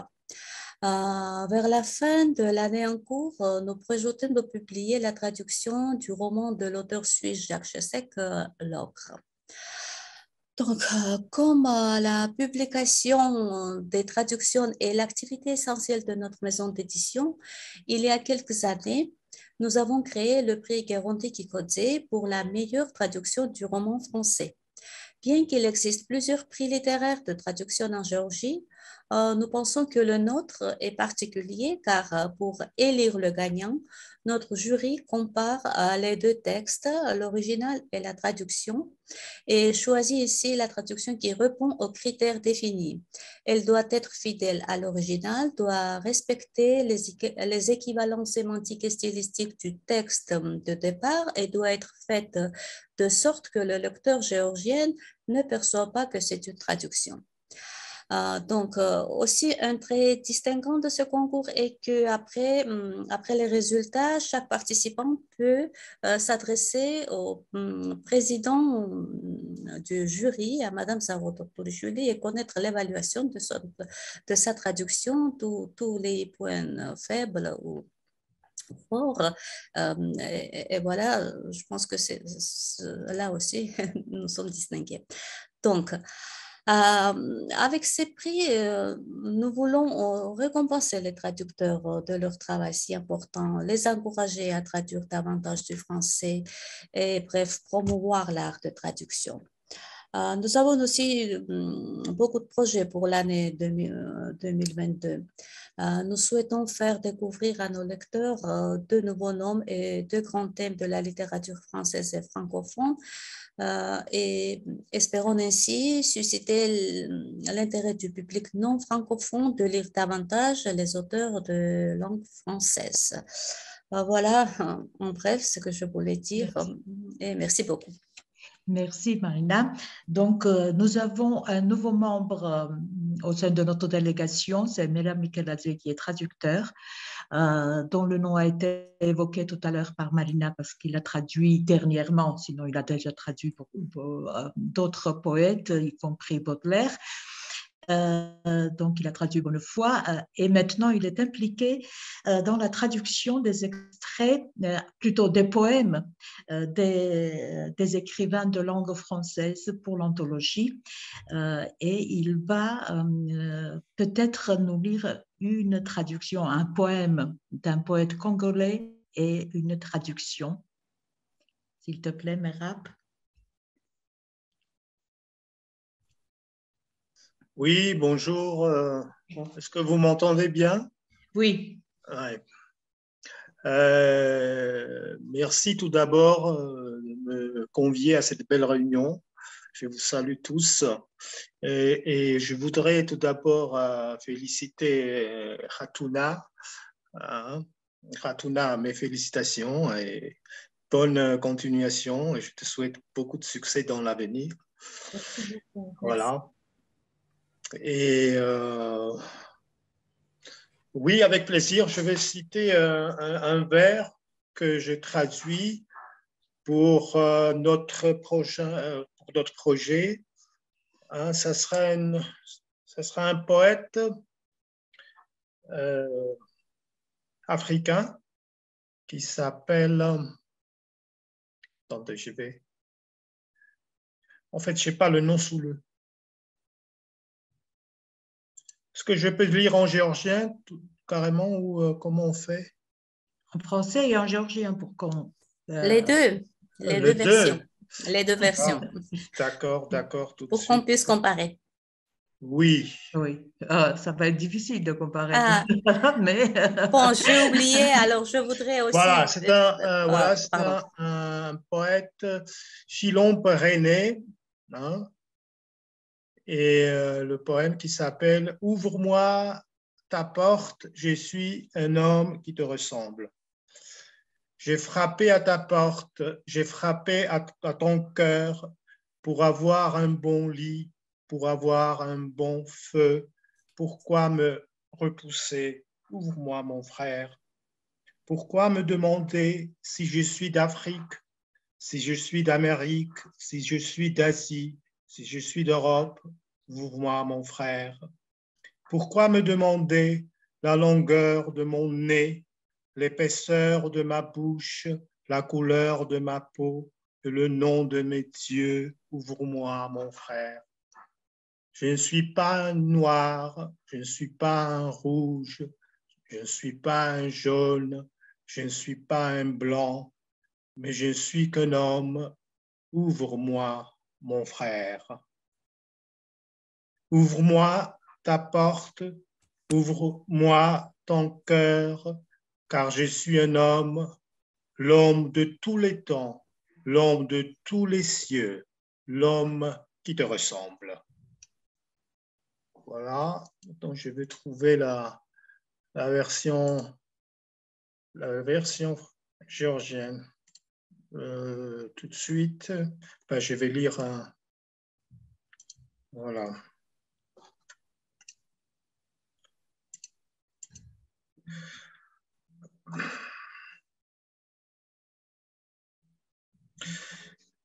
მე შენს კარებზე დავაკაკუნე დაკაკუნება ვცადე შენს გულზეც რადგან ვეწებდი ღამის გასათევს კერის სითფოსაც რადგან ვეწებდი. მითხარ ძმობილო ხელი რად მკარი განაარჯობ და გაგეღო კარი ან რა აზრი აქვს იმის გარკვევას საიდანა ვარ მე წარმოშობით აფრიკელი ვარ ამერიკელი აზიელი ვარ თუ ევროპელი კარი გამიღე ძმაო მოგელი ან რა აზრი აქვს გაგებას იმის როგორიც ხვირით ვარ შემკობილი ხელი მაქვს ტუჩი თუ უფრო მსხვილი რაფერის კანი მაქვს გადაკრული ან რომელ ღმერთებს წირავმეს ვარაქს კარი გამიღე მხოლოდ გთხოვ ამას მე არც შავი ვარ და არც წითელი არც ყვითელი ვარ და არც თეთრი ვარ, ხოლოდ კაცი ვარ, ადამიანი, იქნებ იქნებ მიმიღო გზავრი გვიანი. ძმობილო იქნებ გამიღო კარი და იქნებ სულაც გული გამიღო, რადგან კაცი ვარ, ადამიანი, მსგავსი იმათი, ვინც კი შობილა, ციდან მიწაზე, მიწიდან ცაში, შენი მსგავსი ვარ, მიხვდები წამში. შვენიერი. ბრავო. კი მე ყოველ შემთხვევაში მე ცრემლები მომერია ძალიან მომეწონა ოჩახნერა bon félicitations მადლობა მადლობა on va demander à Gerardo que que voilà quelle est la mélodie qui ouais, c'est la première approche donc euh, il faut retravailler ce vers mais bon ça ouais merci merci bon, bon alors euh, excusez-moi je voudrais simplement j'ai oublié de féliciter euh, de tout mon cœur, Khatouna, de ce succès, Khatouna. Et je suis ravie que, de, que tes deux recueils ont été publiés par les maisons, notre maison d'édition. C'est une petite part de notre part. Bon, encore plus de succès. Merci. Euh, D'accord.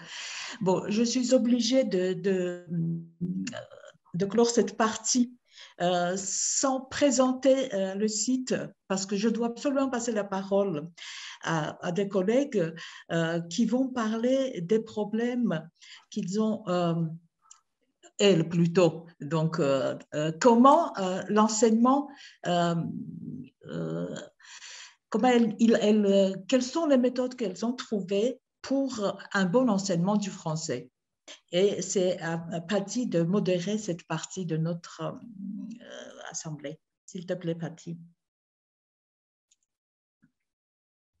Euh, bonsoir déjà. Donc, euh, permettez-moi de vous saluer tous et, tous. Donc, merci de m'avoir invité à cette réunion. Donc, toutes mes félicitations également à Madame Fatouna Zarewa pour sa distinction et toutes mes félicitations également pour la journée internationale des, professeurs de français.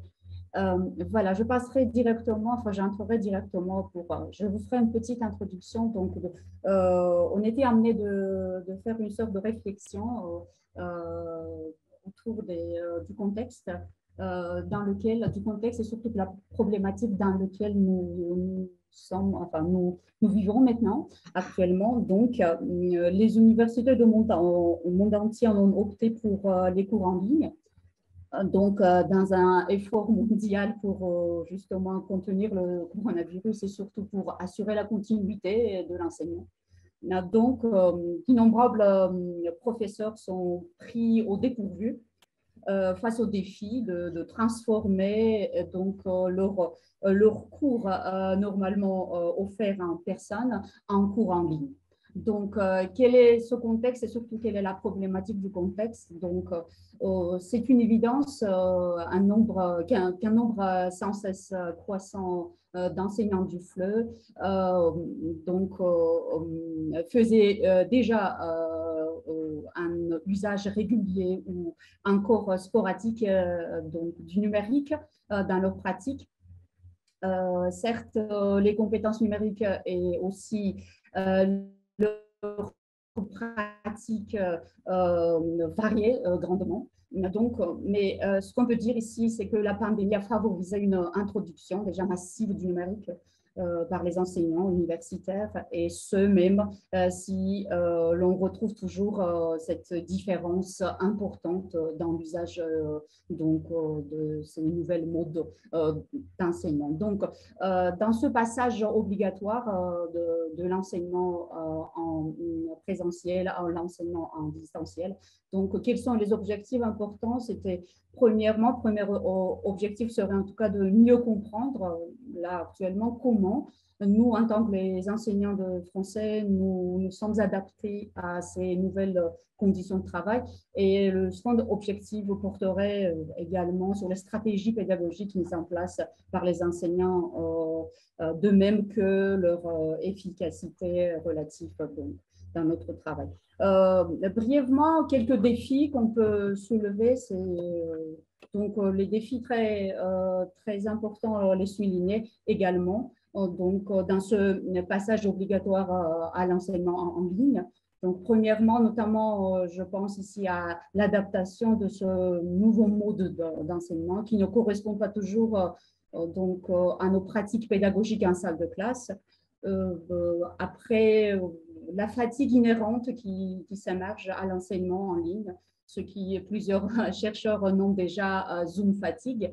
Donc peut-être troisièmement de ces grandes euh, différences liées à l'usage donc numérique euh, du numérique donc euh, et le compétence et surtout surtout le sentiment de compétence des enseignants vis-à-vis de ces nouvelles modes, d'emploi en dehors des défis qui sont assez, enfin les, défis majeurs, et, dans les défis, on peut dire aussi, on peut avoir aussi quelques approches personnelles également. Il y a beaucoup de, il y a, il y a, il y a, il y a des grands avantages également. Donc, euh, à ce passage, euh, c'est l'enseignement plus individualisé ou encore une grande interaction ou encore une grande euh, latitude au niveau des évaluations de, des apprenants. On peut avoir aussi ici quelques, quelques avantages beaucoup plus personnalisés. Donc, enseigner à, à, distance peut nous apprendre donc à, à communiquer autrement, mais la grande question et la grande réflexion se porte ici, donc, euh, euh, quelle est la perception justement de notre profession en tant qu'enseignant euh, du FLE et quel est notre, notre rôle d'enseignement, donc notre nouveau rôle de, dans cet enseignement très, enfin, très dans cet enseignement très, hmm, comment dire, très numérisé. Et voilà, je voulais emmener les collègues donc justement de discuter autour de ça parce qu'il y, euh, y, a beaucoup de problèmes qui, qui, s'immergent. Donc, compte tenu du temps qu'on a, qu'on a qui, nous reste encore, ça ne va pas être une grande discussion, bien évidemment, mais euh, les collègues d'apporter leur témoignage en quelque sorte, euh, donc par rapport à ces défis, peut-être au, niveau des défis, au niveau des, des avantages peut-être, ou, ou, tout simplement leur vécu et leur expérience très brièvement. Donc, voilà, euh, je passerai peut-être la parole à Madame Zia Gomelaori, donc euh, notre collègue de l'Université ILIA, donc de témoigner brièvement là-dessus, euh, ce qu'elle a ressenti. Donc, ce que ressenti. Bon. Bonjour, je m'appelle Zia, je suis professeure à l'Université d'État ILIA et à l'Université libre de Tbilissi. Euh, à l'université, il y a, on a les cours à distance, mais la direction de l'université libre a décidé de continuer les cours euh, euh, soi-disant à présentiel ou bien dans des salles d'études. je voudrais dire que c'est ce que j'ai remarqué, la différence entre ces deux formes d'enseignement, au moins pour moi, consiste plutôt au facteur humain, ou bien je peux même dire émotionnel.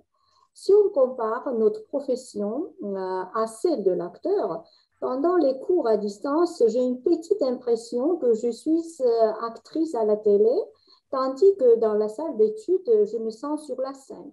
Et mm, dans ce cas-là, mon état affectif est plus intense, ce qui ajoute euh, à mes activités professionnelles plus de créativité et plus de couleurs. Euh, d'ailleurs, j'ai remarqué que le meilleur instrument pour le prof, euh, quand même, c'est le tableau et le stylo mm, feutre, quand même. Euh, d'autre part, j'adore toutes ces innovations géniales et vraiment polyvalentes, les applications Zoom, Google Meet, Hangouts et d'autres. Et je crois que l'enseignement en ligne nous renvoie à de nombreuses modalités. Ce qui oblige les étudiants à être plus autonomes, plus indépendants et plus ingénieux aussi, ainsi que euh, tout cela nous oblige, euh, non, les profs, à être plus contemporains, plus branchés, quoi, plus à l'aise avec la technique. Euh, à l'université libre, j'ai fait parfois les cours mixtes, soi-disant cours hybrides. Et je vois clairement que les absences ont sensiblement diminué, ce qui est d'ailleurs très important pour les cours de langue. Euh, euh, en fait, il faut dire que la pandémie a rendu l'enseignement en distance comme la seule alternative qui peut garantir la continuité pédagogique. Euh, donc, bon gré, mal gré, il faut s'y adapter, vraiment.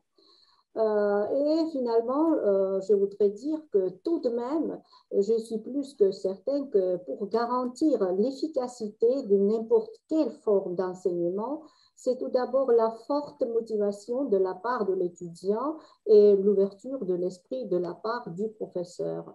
Voilà, c'est ce que je voulais dire très brièvement. Merci beaucoup.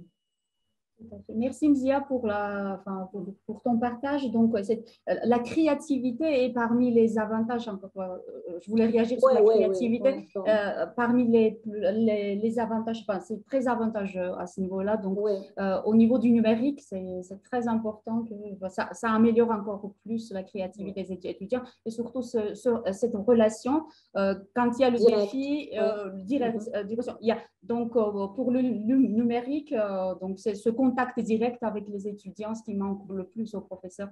Donc, forcément, euh, ça, ça, en contrepartie, ça, ça voilà, voilà, ça, ça contre, contre, récompense aussi en quelque sorte euh, si on passe, euh, si on passe en, hybride, enfin, sous forme de hybride, ça. Voilà, on peut récompenser donc par, donc, merci. Euh, je passerai la parole peut-être à Nino Carteladze, notre très cher collègue de l'université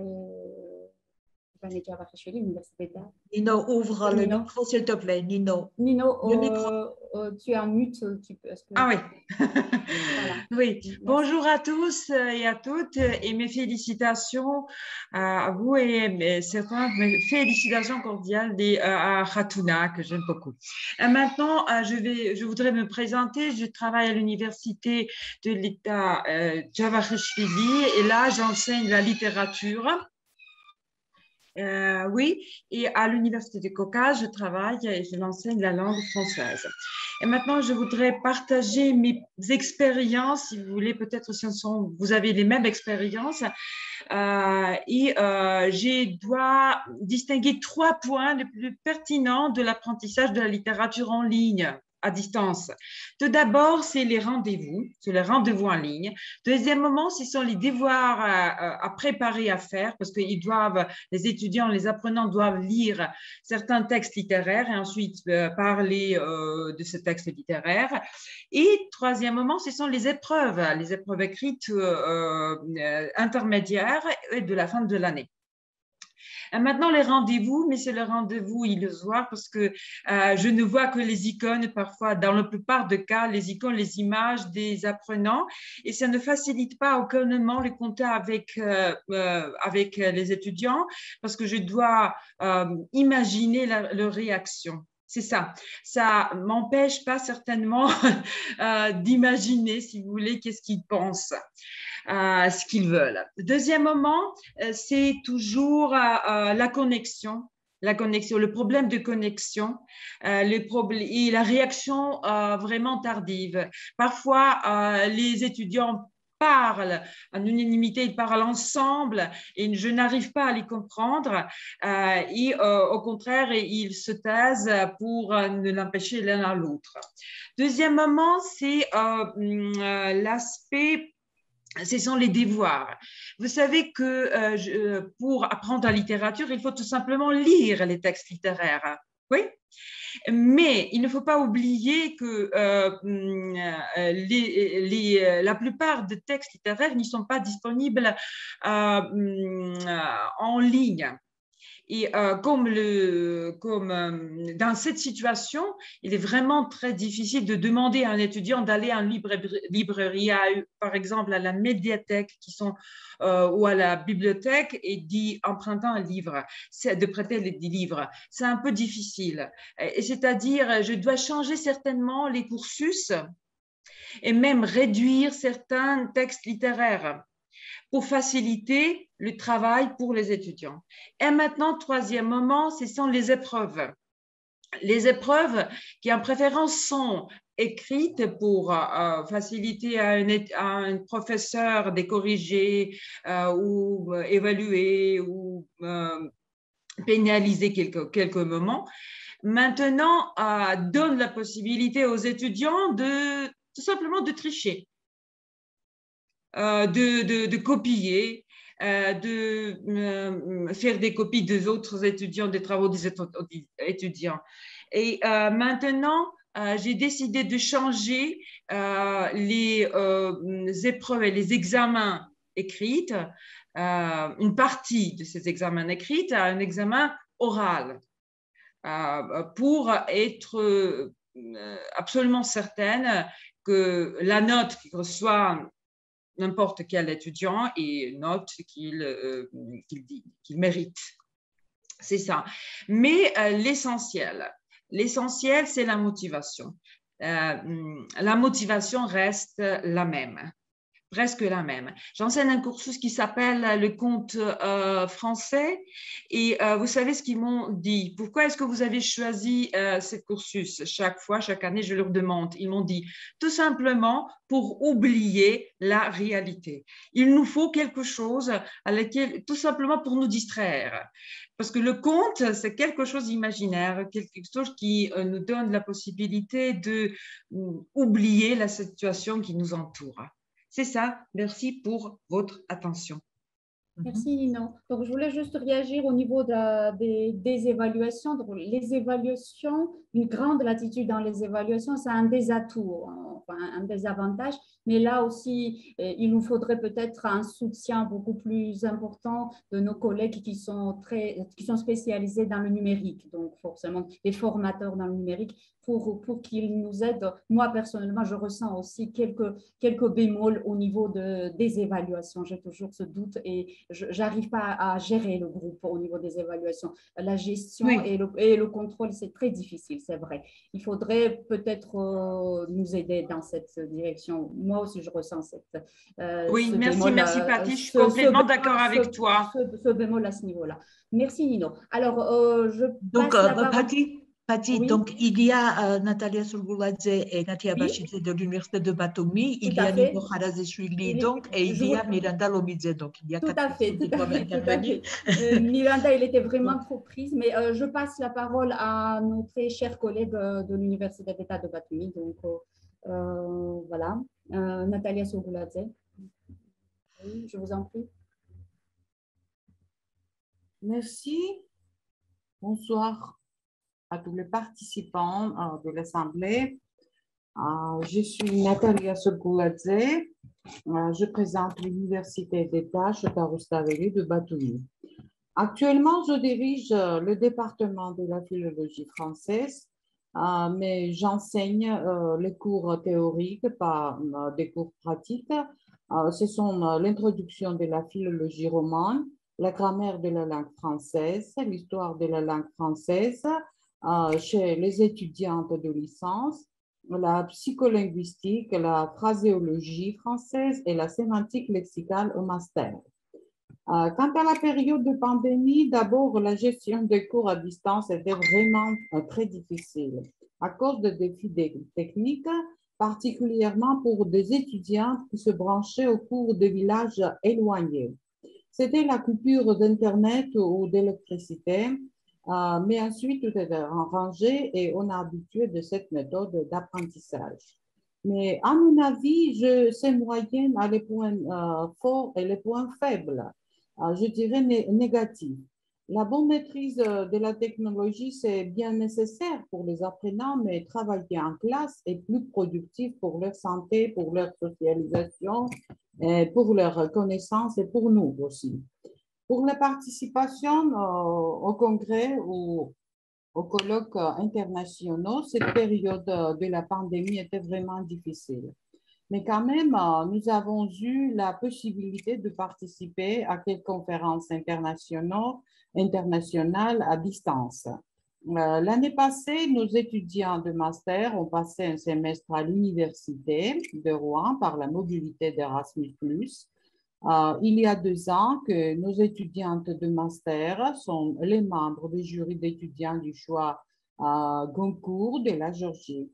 Je voudrais noter que cette année, Tisnami Charachidze, notre étudiante de master, a gagné le deuxième prix au concours Ma thèse en trois minutes, qui était organisé par le soutien de l'agence universitaire de la euh, francophonie. Euh, enfin, je voudrais ajouter que les étudiants de la philologie française de notre université participent activement à toutes les activités que l'Institut français ou la WEF euh, nous propose.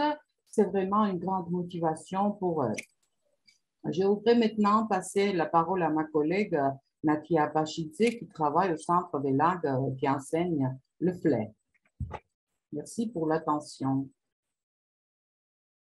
Natia, s'il vous plaît. Merci, merci beaucoup. Bonsoir. Euh, moi, je suis Natia Abachidze et je représente l'Université Chotar Rostaveli d'Albatoumi. Euh, je travaille dans le centre de langue je suis heureuse d'être parmi vous.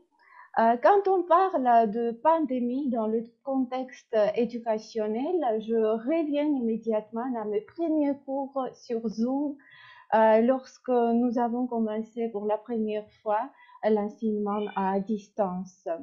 Et évidemment, la pandémie a imposé ses règles, ses conditions elle a absolument transformé ou plutôt favorisé la transformation du modèle de l'enseignement, disons, euh, classique euh, parce que je suggère euh, celui des salles de classe en présentiel et a donné une impulsion incroyable à l'introduction de tissé dans l'éducation.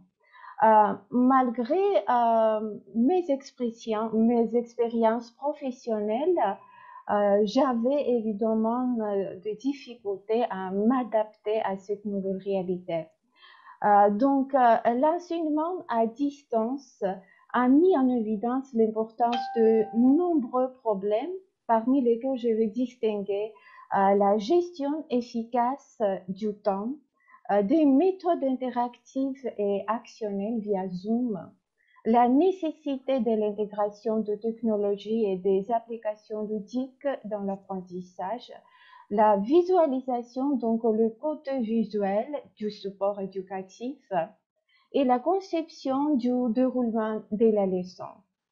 Euh, au début de mes cours via euh, le Zoom, c'était une observation, réflexion, critique, analyse, comment cette approche va fonctionner euh, comment une telle ou telle méthode va aider les étudiants ou les élèves à se concentrer, à comprendre, à réagir.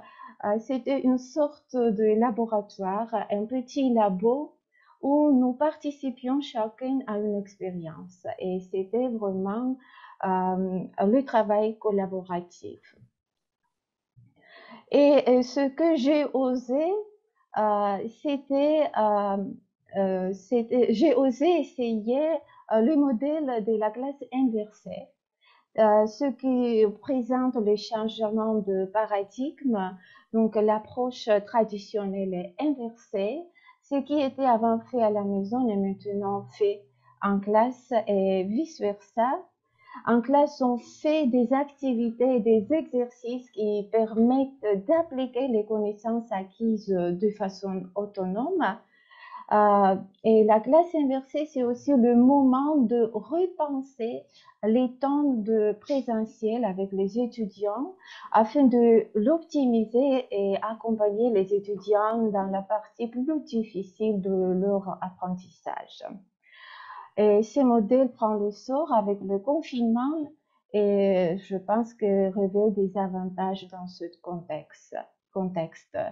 Donc, euh, comme le temps virtuel sur Zoom euh, a apparu plus court que le temps réel, je trouve très fructueuse cette approche. Euh, merci, merci beaucoup. Je partagerai avec plaisir vos conseils, vos recommandations. Merci. Merci Natia.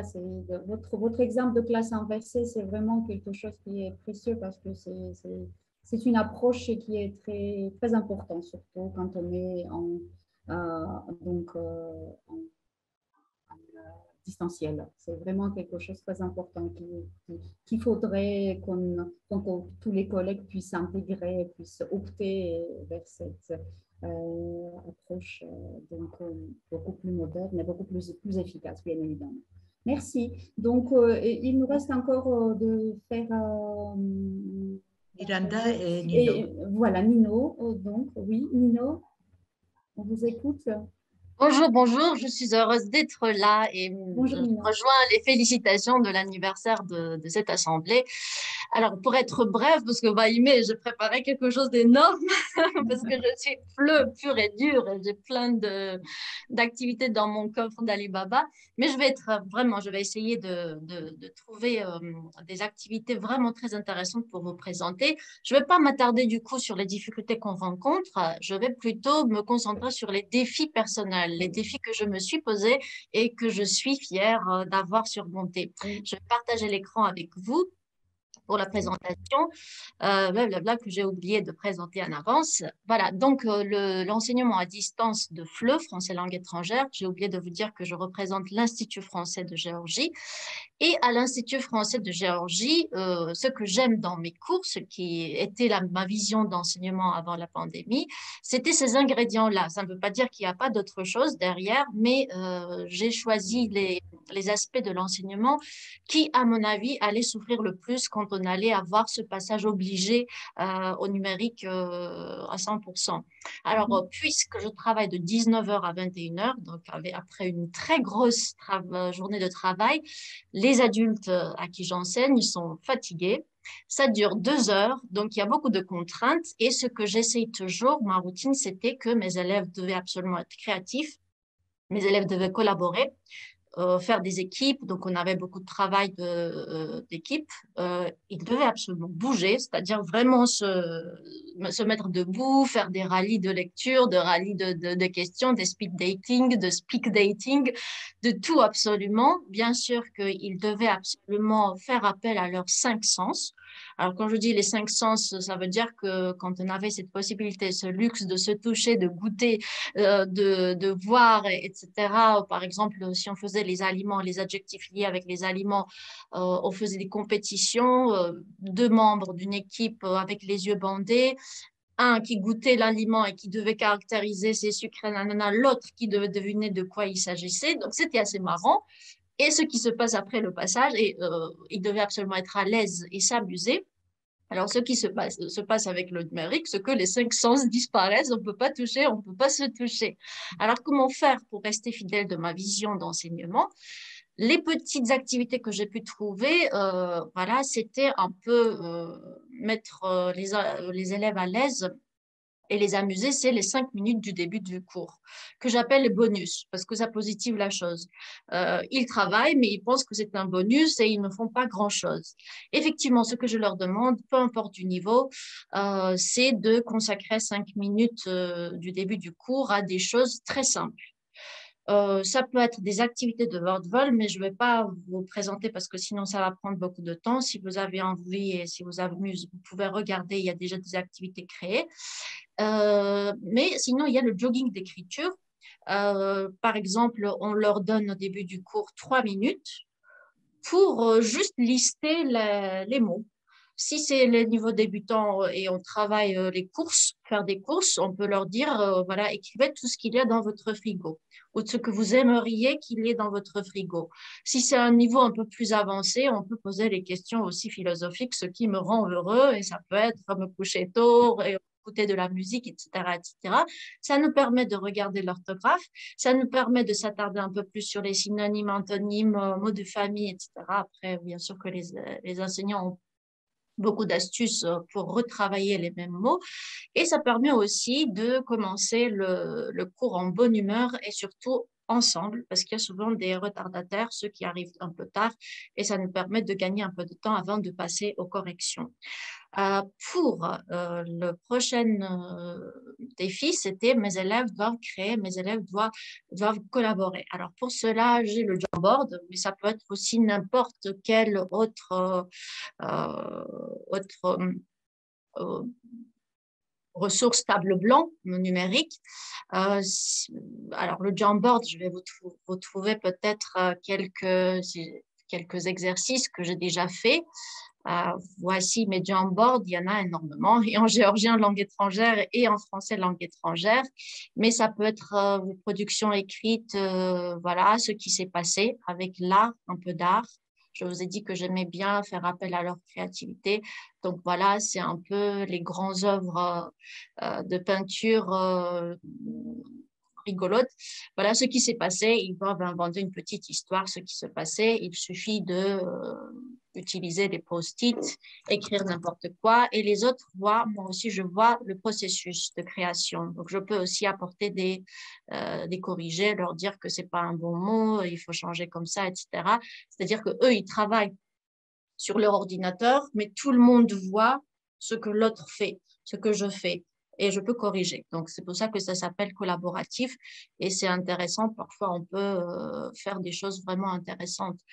Euh, je ne sais pas si j'ai euh, déjà des écrits gardés au niveau des débutants, je leur donne souvent le, même euh, tableau euh, interactif pour la structure de la phrase. Je leur donne des éléments de phrase et eux, ils doivent trouver le bon, la bonne place pour ces éléments. Euh, nous avons fait les recettes. Voilà, tout récemment, le 2 novembre, apparemment, nous avons fait le syndrome. Voilà, on a travaillé le vocabulaire de la médecine au niveau de B2 on a lu un petit extrait de, du PENAC, euh, Le carnet d'un corps, où il y a la description des symptômes, la solution que le personnage a trouvée pour sortir de ce symptôme et finalement la conclusion. Et il devait aussi imaginer des maladies non existantes comme syndrome de l'accent étranger. Il y a plusieurs, je pense. Euh, personne n'a pris apparemment phobie administrative. Euh, voilà, c'était, j'ai oublié déjà ce que c'était. Euh, de Stendhal, je pense.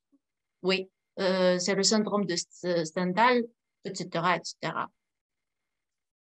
Voilà, donc ça, c'est la production déjà corrigée euh, des élèves que je trouve assez intéressant et les élèves aussi ont l'air de s'amuser bien avec tout ça.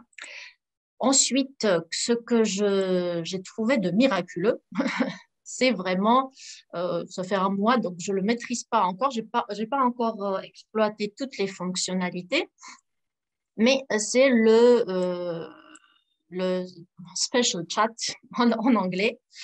Alors, ce que c'est, je vais peut-être vous montrer comment il faut le faire, parce que ça a l'air difficile, mais c'est très intéressant comme ressource que je n'arrive pas à sortir de, mon, de ma présentation.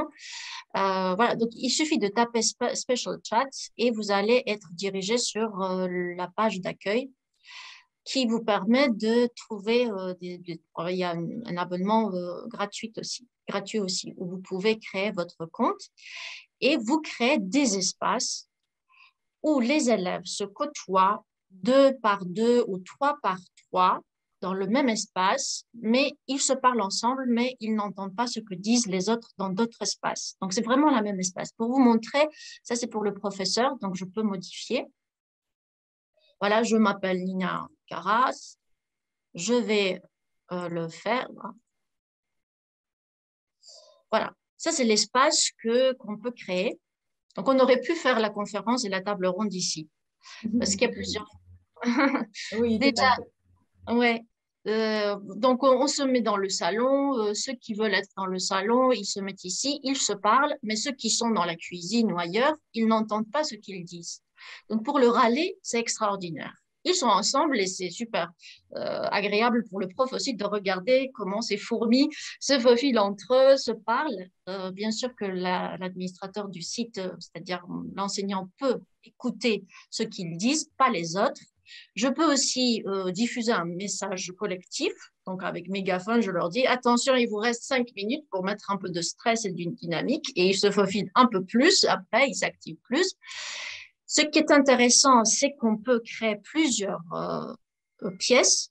Par exemple, pour cette table ronde, on aurait pu euh, faire les, les, tables rondes par thématique. Par exemple, appeler quelque chose je pense toujours à mes magasins parce qu'actuellement, avec les débutants, je fais les courses, par, exemple chez le boucher. Voilà, hein, comme ça. L'autre, je vais créer chez charcutier, etc. etc. L'élève, en fonction du vocabulaire qu'il avait appris, euh, s'il connaît bien les légumes et les fruits, il va aller euh, chez le marchand de fruits et des légumes. Il choisit lui-même dans quelle pièce il veut aller et faire le dialogue avec euh, son partenaire. Parfois, ils peuvent être à trois aussi. Donc, l'enseignant doit absolument avoir de l'œil sur eux pour les virer, pour leur dire il n'y a personne chez le boulanger ou le pâtissier. C'est souvent euh, les commerces qui souffrent le plus parce que le vocabulaire est très spécifique. Et, voilà, donc, ce qui est bien, euh, par exemple, on a parlé que les élèves parlent tous en même temps, ils ne se donnent pas la possibilité de s'exprimer. Il y a euh, une autre manière. Ils me demandent de payer ça marche pas bien. On peut créer aussi, bon, je vais enlever ça. Remove. On peut créer aussi le audio room et audio room permet de euh, d'avoir en fait juste un modérateur qui parle et l'autre ne peut pas interagir s'il ne demande pas l'autorisation et si le, modérateur ne lui donne pas cette autorisation. C'est euh, très très bien pour le niveau B1, là où on doit travailler et les dialogues et les monologues. Donc du coup, on peut faire simultanément un groupe qui fait le dialogue, l'autre groupe qui fait un exposé et qui a son jury. Euh, ou ça peut être aussi en simultané plusieurs exposés de B2, pourquoi pas, ça nous évite de perdre beaucoup de temps. Voilà, à vous de voir après si vous aimez euh, ce genre de, de, choses. si on avait eu plus de temps, je vous aurais envoyé le lien et on se serait amusé à voir qui peut parler avec qui, mais c'est très intéressant. Et à la fin, donc, euh, je vous ai dit que j'aimais bien voilà, créer, faire appel à cinq sens et Cosmopolite a des activités assez intéressantes pour faire appel à cinq sens, un peu zen, un peu le yoga. Je vous fais écouter, je vais juste m'assurer que j'ai aussi partagé l'audio. Je vous fais écouter ce que ça fait. Il faut fermer les yeux et il faut vraiment imaginer et suivre la voix.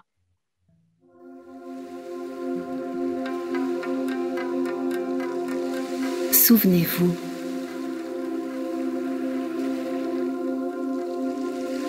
un souvenir agréable.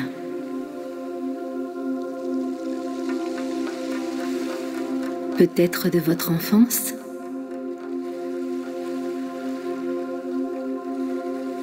De votre adolescence?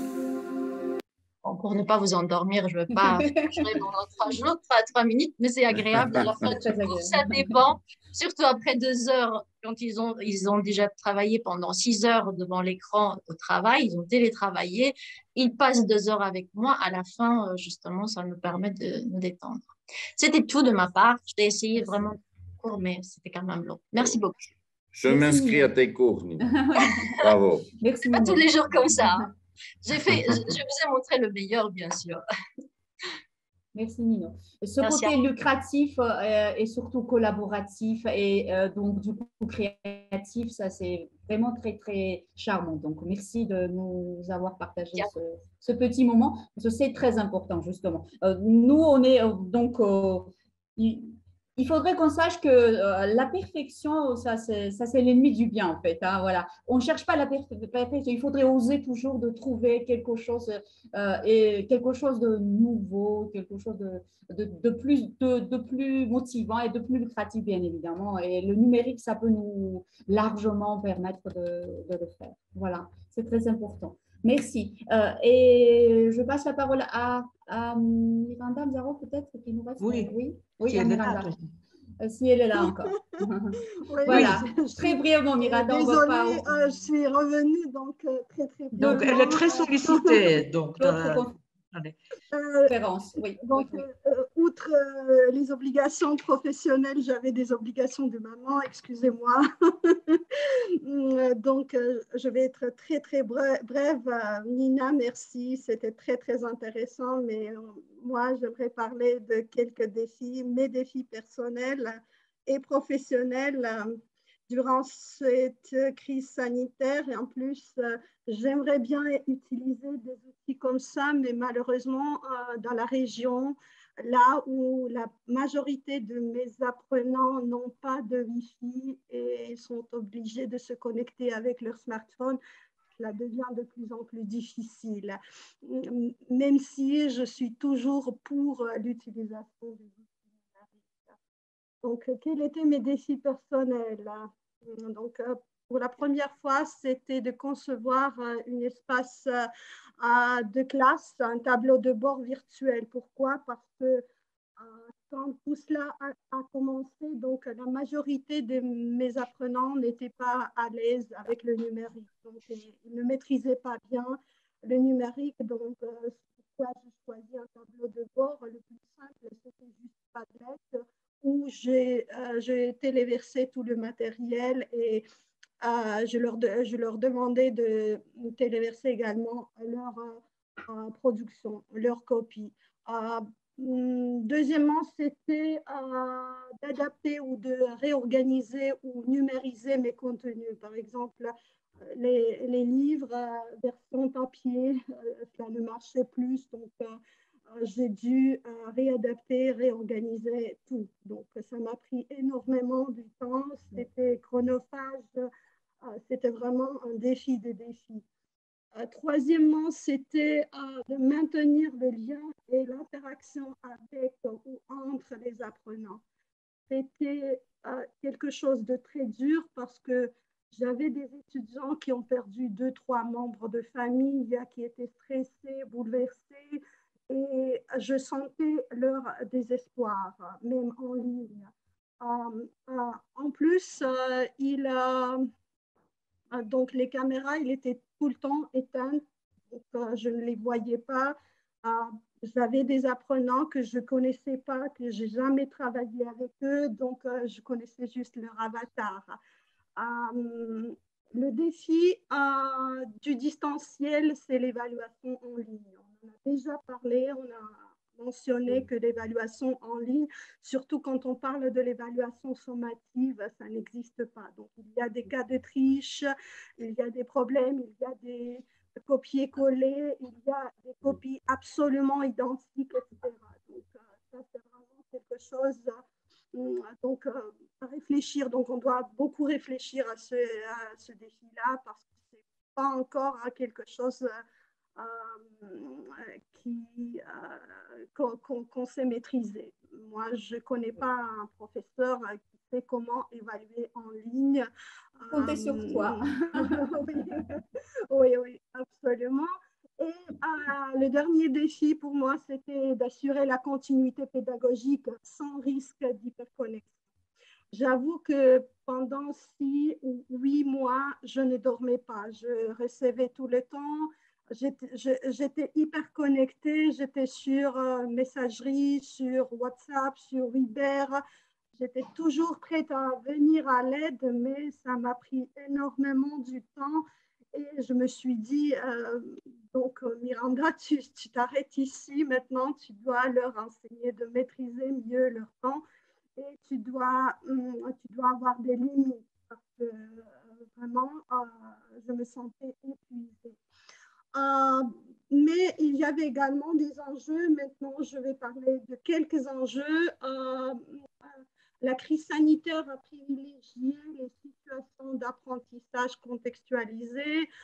J'ai également utilisé beaucoup d'outils numériques que j'adore, mais surtout c'était à moi de, les utiliser et, c'était juste le partage d'écran parce que les devoirs comme ça, j'ai essayé de les faire, les activités, mais dans la classe, j'avais des étudiants qui s'étaient connectés avec le Wi-Fi de leur voisin. Donc, la grande majorité n'avait pas d'ordinateur euh, ou des smartphones adaptés. Donc, euh, c'était vraiment un problème. Euh, l'autre enjeu, c'était que la crise sanitaire et cette situation a favorisé la collaboration et l'entraide. Parce que dans les messageries, dans le chat, je voyais des, des étudiants qui venaient à l'aide quand je ne pouvais pas répondre aux questions de leurs amis, de leurs camarades. Et ça me faisait euh, chaud au cœur parce que je voyais que cette collaboration entre eux, c'était quelque chose de génial. Et bien évidemment, j'ai réadapté les cours euh, et j'ai proposé, je leur ai proposé beaucoup plus d'activités collaboratives. Donc, on a commencé à travailler sur les projets, même au niveau débutant. Euh, l'autre enjeu, c'était que euh, le distanciel a maximisé la pédagogie hors classe. Donc, ça, c'était quelque chose de très bien. Donc, ils, ont commencé à travailler juste à, travailler plus, donc avec les outils numériques ou sans pour, pour envoyer les copies et les tout cela a développé l'autonomie et vers la fin la gestion du temps. Maintenant, ils savent que, par exemple, ils ne doivent pas envoyer les devoirs à 2h30 du matin. Donc, euh, c'est quelque chose, ils ont, ils ont appris à mieux gérer leur temps et Ninon, euh, il en a déjà parlé. Et vers la fin, euh, pour moi, c'était une solution euh, moi, j'ai plutôt favorisé l'auto-évaluation et co-évaluation, c'est-à-dire évaluation par pair. Euh, nous avons choisi de travailler dans le document collaboratif. J'ai créé des nuages euh, sur Drive ou sur OneDrive de Microsoft Word. Donc, comme ça, ils évaluaient hum, les uns les autres et j'ai favorisé l'évaluation formative. Donc, euh, bien évidemment, je, devais donner des notes, euh, mais c'était plutôt vers la fin et tout le monde, euh, tout le monde était content. En ce qui concerne le résultat, le résultat, il était, était assez bon parce que j'avais des apprenants qui venaient juste pour les cours de français, qui, ont beaucoup progressé et vers la fin de l'année euh, de, l'année académique, euh, je recevais leurs témoignages j'avais quelques-uns qui, m'ont dit que les cours de français, c'était comme un bout de secours pour eux, pour euh, se sauver un peu plus de cette, de cette crise, de cette situation inhabituelle pour eux et pour moi également. Pour moi, c'était pareil. Donc, j'entrais donc, euh, pas en salle de classe, mais en ligne. Et c'était, j'étais sauvée. Je me suis sauvée comme ça, en travaillant en ligne. Voilà.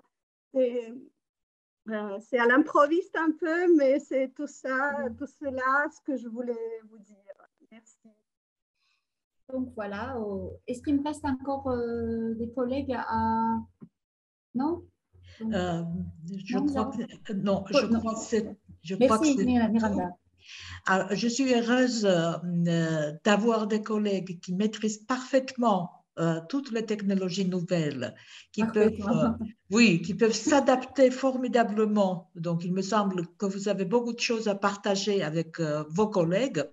Et je pense qu'il faudrait organiser une table ronde à part. C'est ce que j'allais dire. Oui, inviter d'autres enseignants, voilà, justement, pour partager vos, vos, vos, expériences. Les pratiques mises, en, mises en place. Voilà, tout à fait. Pour les partager. Et je, je, vous remercie, vraiment, c'était euh, extraordinaire euh, de vous avoir écouté. Euh, il nous reste merci, encore. Merci. Euh, euh, merci Patty d'avoir modéré cette partie. Je dois remercier absolument M. Bachir Tamsir Nian, qui est resté tout au long de, notre assemblée à suivre d'une façon extraordinaire. Donc, il est écrivain et universitaire. Euh, il est guinéen, donc euh, il a envoyé des textes aussi pour notre anthologie. Euh, il y a quelqu'un qui devrait fermer son micro. Sinon, donc, voilà. Est-ce que... Voilà. Bon, vous voulez bien nous dire quelques mots, Monsieur Nian vous ouvrez le micro Oui, euh, allô, euh, bonsoir, bonsoir à tout le monde. Je vous remercie, je vous remercie beaucoup euh, de me donner la parole. En fait, je n'avais pas prévu une, prise de parole, mais je vous en remercie beaucoup. Et je suis d'autant plus heureux que le projet qui nous réunit euh, a une très grande importance et euh, ça nous permet à nous, euh, qui venons de la région sud, qui venons de l'Afrique, d'apporter notre contribution à quelque chose qui me paraît très, important, à savoir l'anthologie de la littérature francophone qui est proposée par la, qui est proposée par la Géorgie. Et je remercie euh, beaucoup le docteur euh, Nzago qui a eu euh, l'amabilité de nous convier à participer à cette, cette belle entreprise. Et je suis actuellement en train de réunir un certain nombre de textes que je vais lui soumettre bientôt dont j'espère qu'ils feront partie de cette, de cette anthologie et qui vont donner un certain regard sur euh, la littérature euh, guinéenne d'expression française, la littérature euh, africaine qui utilise la langue française. Et toutes ces, toutes ces différentes variations de la langue française ne font que souligner la richesse du monde cosmopolite dans lequel nous sommes et, qui nous réunit. Donc, il m'est très agréable de participer à cette, cette manifestation. Et, encore une fois, je vous remercie euh, d'avoir bien voulu euh, m'accorder le statut de membre d'honneur de la délégation, ce dont je suis extrêmement fier et je vous en remercie beaucoup et je vous réassure encore une fois de ma pleine disponibilité à travailler pour euh, les causes de notre entreprise commune. Et je vous remercie beaucoup. Merci beaucoup, chers collègues.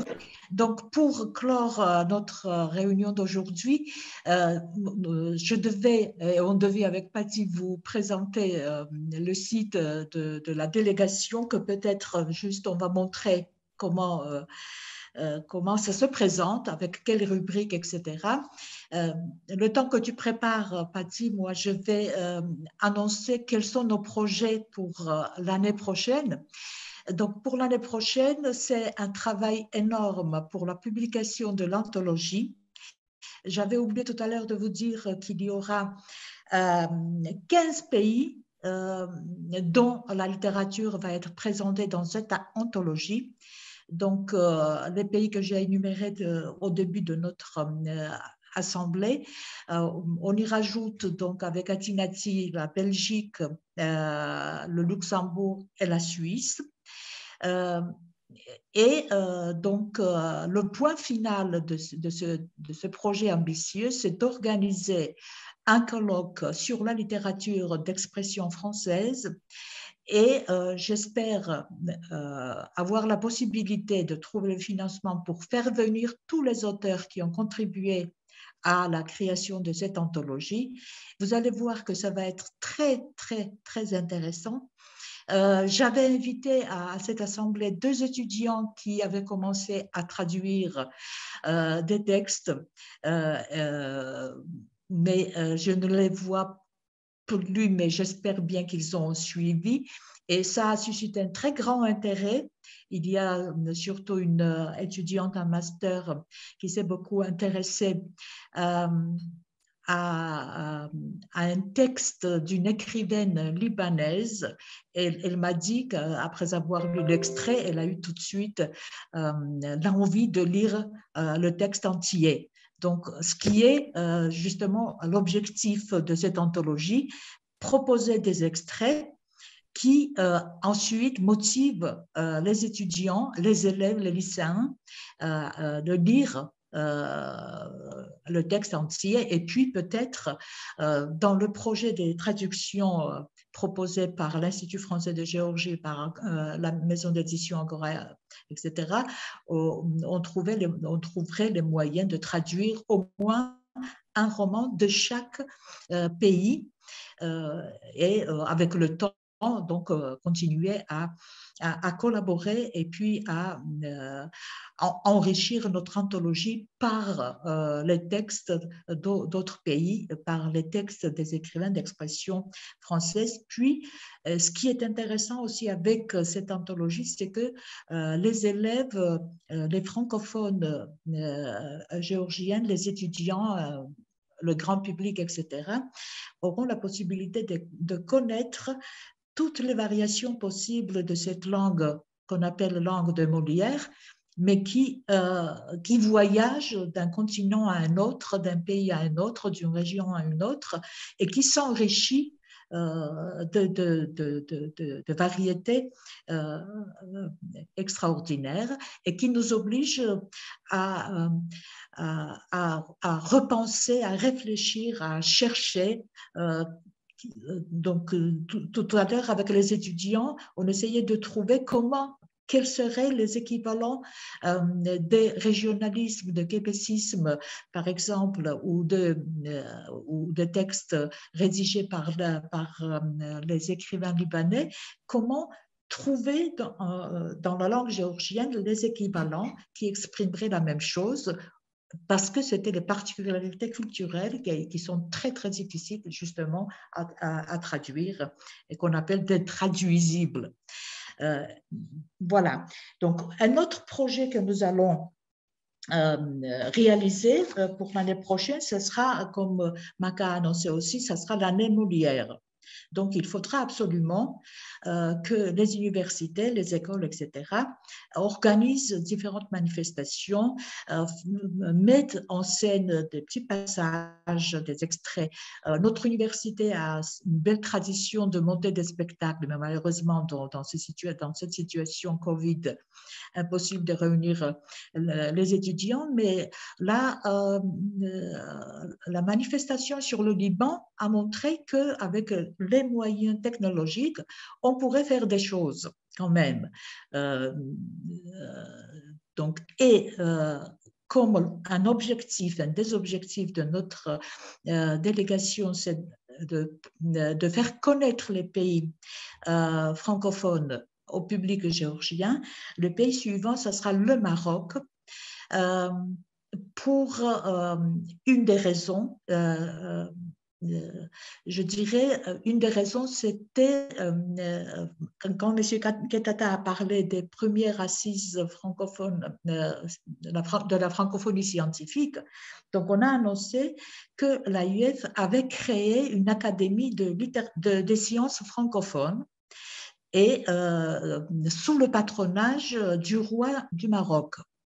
Donc, euh, on se dit que peut-être, donc le, pays suivant après le Liban, ce serait le Maroc qui va être euh, présenté pendant les journées de la francophonie. Et je vous invite euh, tous et toutes à proposer, à, à, proposer des idées, des réflexions comment vous pouvez, euh, euh, euh, ou vos, étudiants, comment vous pouvez vous impliquer dans la réalisation de ce projet? donc, comme pour le Liban, on a eu plusieurs réunions avec les enseignants, on va faire la même chose pour le Maroc. Amaka en a déjà parlé. voilà, donc je vous, Patty, tu montres la, le site ou bien c'est moi? Euh, je vais le partager, il n'y a, pas de souci. Oui, vas-y. Si je peux le faire, si j'ai l'autorisation. Voilà. Voilà. Vous le voyez? Oui. Donc... C'est en construction déjà, si j'ai bien compris, c'est ça? Euh, Bon, euh, pourquoi je... Mhm. tu descends un peu l'écran? Tu descends un peu la, la première page? Que euh, je dise euh, au public, oui. Non, non, non. Montre-le, montre, voilà, tout debout. Tout, tout, d'abord, donc, euh, c'est le logo de l'université qui est à remplacer, parce que je n'aime pas du tout la, la couleur euh, noire. Ensuite, vous avez le logo de notre délégation, euh, donc le sigle D euh, RFG, donc délégation de la Renaissance française en Géorgie. Euh, donc nous avons repris euh, les, la devise de, la Renaissance, promouvoir la culture, œuvrer pour la paix, distinguer les mérites. Et puis vous voyez donc les rubriques. Et dans ces rubriques, vous avez du matériel à, faire rentrer. donc il y a des objectifs qui sont exposés. Vous voyez dans les instances, nous avons la, la composition du tu peux ouvrir la composition du bureau. Euh, dans nos activités, donc, nous allons mettre euh, justement les informations à chaque fois qu'il y aura une activité. Euh, pour les publications, je demanderai à tous les membres d'envoyer la liste de, vos publications en général, pas seulement de cette année-là, mais la liste de vos publications pour que ça soit visible pour le public qui va, qui va s'y intéresser. Bon, pour les distinctions, j'allais vous, euh, vous annoncer que pour l'année prochaine, donc euh, la Renaissance française euh, propose deux sessions d'attribution de prix différents. Et pour l'année prochaine, pour le mois, pour la promotion du mois de mai, on va présenter la candidature de M. Zaza Alexidze, que, vous connaissez, euh, que vous connaissez tous, euh, qui est caucasologue, épigraphiste, codicologue, spécialiste des cultures écrites du Caucase, albanien, arménien et géorgien, membre de l'Académie des sciences de Géorgie, président du Conseil scientifique du Centre national des manuscrits et qui est euh, correspondant euh, étranger de l'Académie des inscriptions et des belles lettres.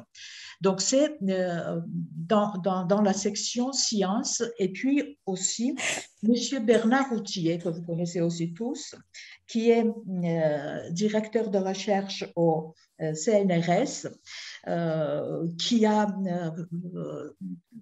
les sujets de ces, recherches sont littérature biblique, euh, apocryphe, liturgique et patristique de l'Orient chrétien. Il a beaucoup d'ouvrages sur la Géorgie, sur l'Arménie, etc.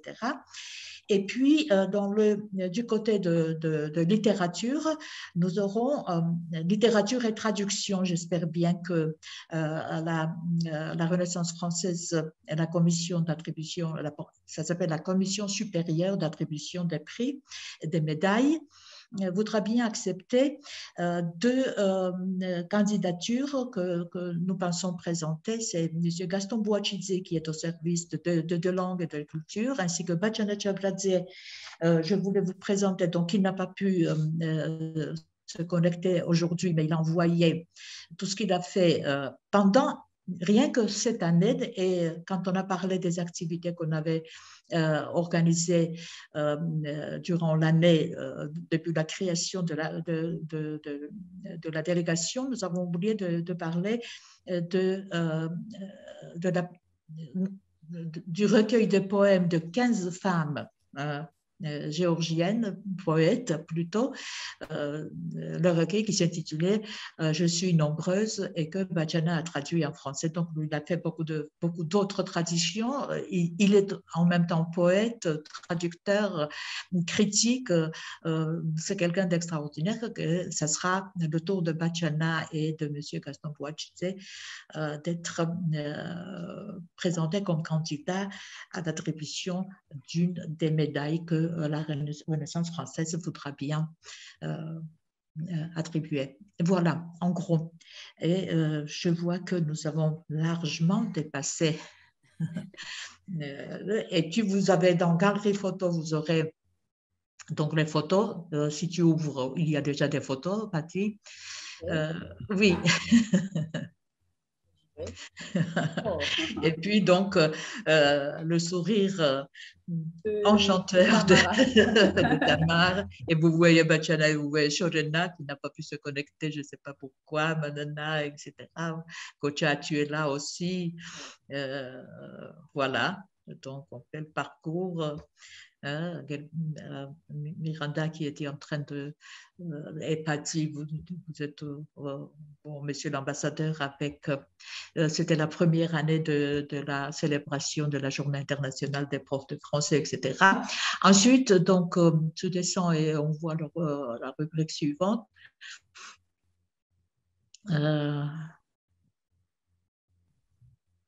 ça ne marche pas. Voilà. Donc, comment nous contacter? Donc, euh, même si euh, euh, donc le, le, le, nom du site nous paraît trop long, c'est très facile. Délégation FR en Géorgie. Point, il y a une du C'est très facile à, à retenir. Délégation RF, Renaissance française, en Géorgie. Donc, comme vous voyez, le site est hébergé et administré par euh, l'Université d'État ILIA. L'anthologie aussi sera publiée par l'Université d'État euh, ILIA. Et puis, donc, euh, ce qui nous reste à faire, c'est de nous entendre sur la cotisation. donc, je me suis dit que peut-être 50 laris par an ne serait pas difficile à cotiser pour la délégation. Qu'est-ce que vous en pensez? Je n'entends pas. De Aucun problème de ma part. Je pense que c'est normal. D'accord. Bien sûr. Aussi, vous avez mon accord. C'est symbolique. Parfait. Bon, c'est Paty, bon, qui va, euh, qui va, qui va administrer donc les frais, etc. La trésorière. voilà. Et Nino, du coup, je euh, suis un grand elle est trésorière, vraiment. Et Nino Harazichuli qui va administrer la, le site. Vous avez décidé. vous avez, vous avez vu tout à, tout à l'heure euh, ses, ses capacités oui, extraordinaire. extraordinaire. Donc. Si j'avais su, j'aurais pas étalé tous mes talents. Il fallait me préparer. tu en as gardé encore d'autres. Alors, je vous remercie toutes, tous d'avoir été aussi fidèles. d'avoir présenté vraiment des réflexions de, de, ce que vous avez fait, etc. J'attends vos textes, s'il vous plaît, bien rédigés. Euh, donc, vous voyez bien qu'il y a euh, la rubrique publication, on va mettre vos publications, vos textes. Le compte rendu va être envoyé aussi euh, à, la, à, la, Renaissance française. Et là, nous avons notre espace. Si vous, si vous cliquez sur la Géorgie, nous avons notre espace, vous avez des informations sur la Géorgie. ქალბატონო მზაღო უკაცრავად კონტაქტებში შეცდომით ეწერა პირიქით იყო FR, RF-ის მაგივრად. ორივეგან. Renaissance française. Marta. Oui, მაგრამ ეწერა FR და არა RF, როგორც წერია ზემოთ. ორივე გან. მე გავასწორე და იგივე შეიძლება შეცდომა დავა. და ვებსაიტშიც. მისამართი. კარგით, merci, merci pour votre. არა და მაგით შევდივარ, თუდა რატო შევდივარ თუ აგეთი ვერ გასა. ესე იგი სწორი იმით ვეღარ შეხვალთ. არა, პირიქით ზემოთ სწორად ეწერა, სადაც შესულიყავით. იქ ეწერა RF და ქვემო მითითებული. კარგი, დაგემშვიდობებით. თუდად იყო მითითებული. დიდი მადლობა. მადლობა ყველას. Très grand merci d'avoir passé combien d'heures déjà hein? Trois, heures, heures et plus. trois heures et heures. დიდი მადლობა ჩვენს უნივერსიტეტს, დიდი მადლობა ბატონო ძიმა, რომ გაგვიძენით ამდენ ხანს. დიდი მადლობა ერთგულებისთვის და ყველას მადლობა. ველოდებით დღეს. მერსი ბოკუ. მადლობა, გადაჯანდებოდეთ. მადლობა. ახამდის. ყველას უღმესი მადლობა. თუ გაერთხელ კიდევ დიდი მოლოცვა. ახამდის.